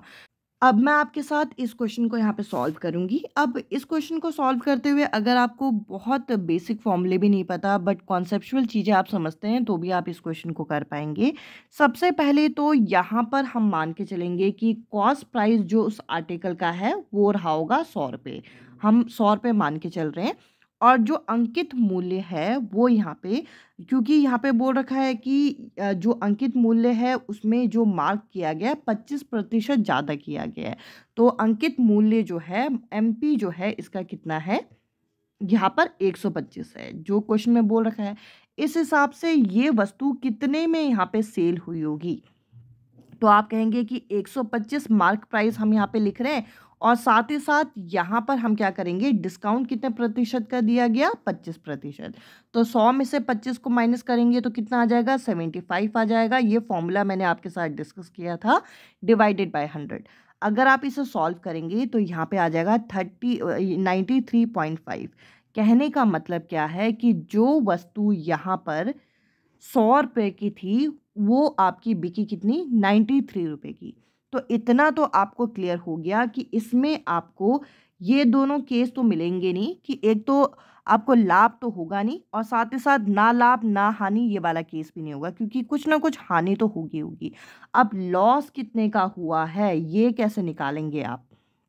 तो लॉस निकालने के लिए आपको करना क्या है? लॉस परसेंट निकालने के लिए हम क्या करेंगे? सौ में से ये जो सेलिंग प्राइस था, इसको यहाँ पे माइनस करेंगे, ये इसका सूत्र है। और यहाँ पर हम भाग कर देंगे सौ से और क्योंकि सी पी हमने सौ लिया था तो हम सौ यहाँ पे लगाएँगे। अगर आप इसे यहाँ पे सॉल्व करते हो तो आपके पास जो आंसर आएगा, वो आएगा पच्चीस बटे चार और क्योंकि आपको यहाँ पे सारी चीज़ें मिक्स फ्रैक्शन में दे रखी है तो यहाँ पे छः एक बटे चार जो है, इस क्वेश्चन का लॉस आएगा। और छः एक बटे चार लॉस आपको कौन से ऑप्शन में दे रखा है? बी ऑप्शन में दे रखा है। तो देखिए, अगर ऐसे क्वेश्चन में आपके पास बहुत टाइम नहीं है क्वेश्चन सॉल्व करने का, इतना भी पार्ट आपने सॉल्व कर लिया तो दो ऑप्शन यहाँ पर आप एलिमिनेट कर पाएँगे। अब देखिए, यहाँ पे हमें जो नेक्स्ट क्वेश्चन दे रखा है, इसमें आपको मेन मीडियन मोड का आपको ये क्वेश्चन सॉल्व करना है और ये क्वेश्चन मैं उम्मीद करूँगी कि आप खुद सॉल्व करें। क्योंकि देखिए मीन निकालने के लिए मोड निकालने के लिए मीडियन निकालने के लिए बस आपको इसे असेंडिंग ऑर्डर में रख के जो इसके सूत्र हैं, वो लगाने हैं और इस क्वेश्चन को सॉल्व करके आपको बताना है कि इस क्वेश्चन का क्या करेक्ट आंसर है।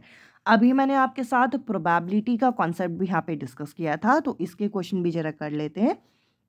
यहाँ पे बोल रखा है, अ, number is selected at random from सत्ताईस से लेकर सेवेंटी नाइन तक के नंबर को रैंडमली सिलेक्ट किया गया और आपको बताना है कि इनमें से कौन से ऐसे नंबर होंगे जो कि यहाँ पे दो और तीन दोनों से डिविजिबल होंगे? तो देखिए, ये बड़ा टास्क हो जाता है ऐसे क्वेश्चन में कि आपको यहाँ पे ऐसी संख्या है पहले तो पता करनी है कि कितनी होंगी, जो कि यहाँ पे सत्ताईस से लेकर सेवेंटी नाइन के बीच में दोनों से डिवाइड होंगी। तो दोनों से डिवाइड होने वाले नंबर एक हो जाएगा तीस, इसके बाद एक हो जाएगा थर्टी सिक्स देखिए, बहुत कम नंबर ऐसे होंगे कि जो दोनों से डिवाइड हों तो ये बहुत बड़ा टास्क भी नहीं है। अगला हो जाएगा फोर्टी एट इसके अलावा हो जाएगा यहाँ फोर्टी टू फोर्टी एट इसके अलावा नेक्स्ट हो जाएगा फिफ्टी फोर इसके अलावा सिक्सटी इसके अलावा सिक्सटी सिक्स देखिए, यहाँ पर जो टू की डिविजिबिलिटी है, दो के विभाज्यता का नियम तो बहुत आसान है, वो तो देख के पता चलता है कि नंबर होगा या नहीं होगा। तीन के लिए आप देख लीजिए सम ऑफ़ डिजिट करके या ओरल तरीके से डिवाइड करके तो ऐसे आपको कितनी संख्या यहाँ पे मिल जाएँगी? नौ ऐसी संख्या मिल जाएँगी इनके बीच में, जो कि दो और तीन दोनों से विभाज्य हों। अब आपको देखना है सत्ताईस और सेवेंटी नाइन के बीच में टोटल कितने नंबर हैं? तो ये नंबर है आपके फिफ्टी थ्री। तो यहाँ पर प्रोबेबिलिटी कैसे निकलती है? प्रोबेबिलिटी निकालने के लिए आपको करना क्या होता है कि जिस चीज़ के बारे में पूछा गया, यानी कि नौ संख्याएँ ऐसी हैं जो कि दो और तीन दोनों से भाग होंगी और टोटल कितने संख्या है? यहाँ पे सत्ताईस और सेवेंटी नाइन के बीच में फिफ्टी थ्री तो यहाँ पर प्रोबेबिलिटी कितनी आ गई? यहाँ पे nine by fifty three I hope ये क्वेश्चन यहाँ पे आपको क्लियर हुआ होगा। अब देखिए, एक क्वेश्चन यहाँ पे कंपाउंड इंटरेस्ट का लिया गया है, जिस क्वेश्चन में ये बोल रखा है कि एक राशि है जो कि यहाँ पे इंटरेस्ट के फॉर्म में ली गई। और अमाउंट जो है वो इतना यहाँ पे दिया गया, वो भी कितने देर में? वो भी यहाँ पे ढाई साल में। और कितने के दर पे? यहाँ पे दस परसेंट के दर पे। तो कितनी राशि यहाँ पे जो है वो नकद ली गई होगी? ये निकालने को बोल रखा है। अब इस क्वेश्चन में यहाँ पे आप देखेंगे कि जो टाइम है वो आपको दो साल अलग दे रखा है, आधा साल अलग दे रखा है। तो अमाउंट का फॉर्मूला आप लगा दीजिए। अमाउंट का फॉर्मूला मैंने क्या बताया था? प्रिंसिपल और यहाँ पे one plus R divided by hundred और दो साल को आप यहाँ पे अलग कर लीजिए। और यहाँ पर हम आधे साल को अलग कर लेंगे। आधे साल को हम किस तरीके से लिख सकते हैं? R divided by two. R divided by two क्या होगा? आर बाई टू हंड्रेड हो जाएगा। और क्योंकि आधा साल है, इसलिए इसकी पावर भी लगाने की आपको ज़रूरत नहीं है।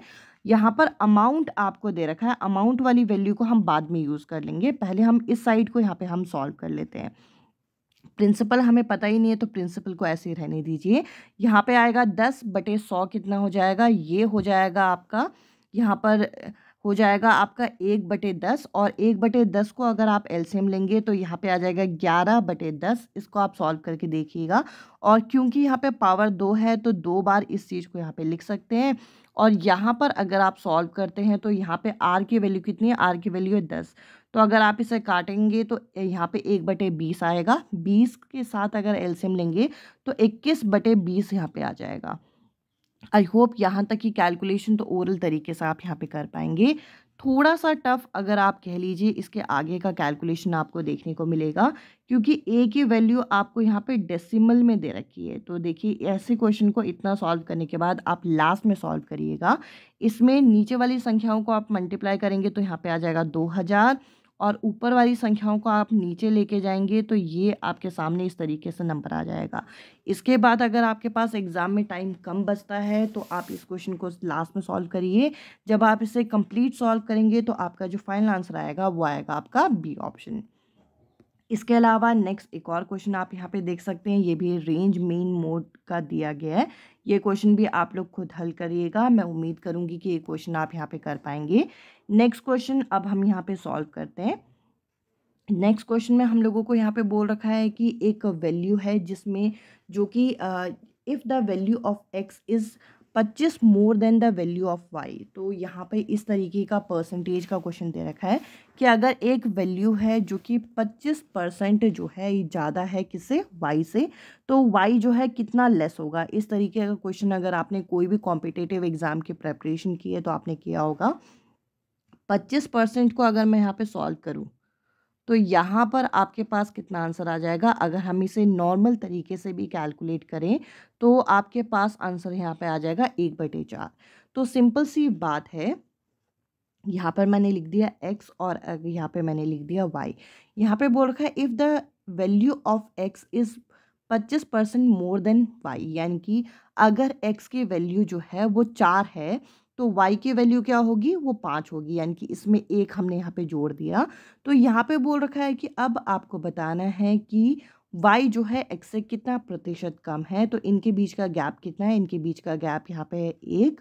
और यहाँ पे हमें क्या पूछ रखा है? Then the value of y is less than the value of X कितना लेस देन है एक्स से? तो एक्स से कितना लेस है? तो एक्स की वैल्यू कितनी है? एक्स की वैल्यू है पाँच. तो एक बटे पाँच अगर आप निकालते हो, एक बटे पाँच को अगर हम यहाँ पे परसेंटेज में लिखते हैं तो यहाँ पे अगर आप हंड्रेड से मल्टीप्लाई करके इसे सॉल्व करोगे तो ये आपका बीस परसेंट आएगा. तो कभी भी आप ये मत सोचिएगा कि एक्स अगर यहाँ पे वाई से पच्चीस परसेंट ज़्यादा है तो वाई भी एक्स से यहाँ पे पच्चीस परसेंट कम होगा. ये वैल्यू जो है डिफरेंस आता है। ये अगर आपने किसी भी कॉम्पिटेटिव एग्ज़ाम की तैयारी की होगी तो आप ओरल भी इस क्वेश्चन का आंसर यहाँ पे कर पाओगे। इसके अलावा एक और क्वेश्चन है यहाँ पे सप्लीमेंट कॉम्प्लीमेंट का। ये टॉपिक में यहाँ पे मैंने एक्सप्लेन नहीं किया था अभी। सप्लीमेंट क्या होता है कि अगर दो एंगल का सम यहाँ पे 180 होता है तो और कॉम्प्लीमेंट क्या होते हैं? जो दो एंगल का सम आपका कितना होगा? 90 होगा। अब यहाँ पे ये कॉन्सेप्ट आपको पता होना चाहिए अब बोल रखा है कि the sum of the supplement and the complement of angle X is कितना दे रखा है यहाँ पे? 240 यहाँ पे हम लोगों को दे रखा है। यानी कि अगर किसी एक्स वैल्यू का अगर आपको यहाँ पे क्या निकालना है? अगर किसी एक्स वैल्यू का आपको यहाँ पे सप्लीमेंट और कॉम्प्लीमेंट निकालना है, संपूरक और पूरक निकालना है तो क्या निकलेगा? एक निकलेगा आपका 180 एट्टी माइनस एक्स और एक निकलेगा आपका नाइन्टी माइनस एक्स, एक सप्लीमेंट और कॉम्प्लीमेंट क्योंकि सम कितना होता है? एक एक सौ अस्सी, एक नब्बे। तो यहाँ पे बोल रखा है कि इनका सम क्या है? इनका योग कितना है यहाँ पे? यहाँ दो सौ चालीस दे रखा है। तो सबसे पहले आप एक्स का मान निकाल लीजिए। एक्स का अगर आप मान निकालते हैं तो एक्स का मान जो है, यहाँ पर कितना आ जाएगा? पंद्रह आ जाएगा।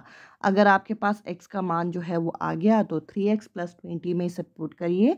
तो थ्री इंटू फिफ्टीन होता है यहाँ पे फोर्टी फाइव पैंतालीस पैंतालीस में से बीस गया। यहाँ पे आंसर आ जाएगा पच्चीस, जो कि आपको यहाँ सी ऑप्शन में मिल रहा है।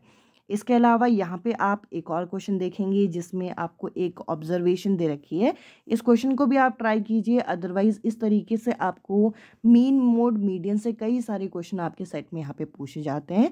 मैं उम्मीद करूँगी कि ये सेशन आपको पसंद आया होगा। इस सेशन से आपने काफ़ी सारे मैथ्स के कॉन्सेप्ट को यहाँ पर क्लियर किया होगा। आज के इस सेशन में इतना ही। अब मैं आपसे मिलती हूँ अगले सेशन में अगले टॉपिक के साथ। Bye bye take care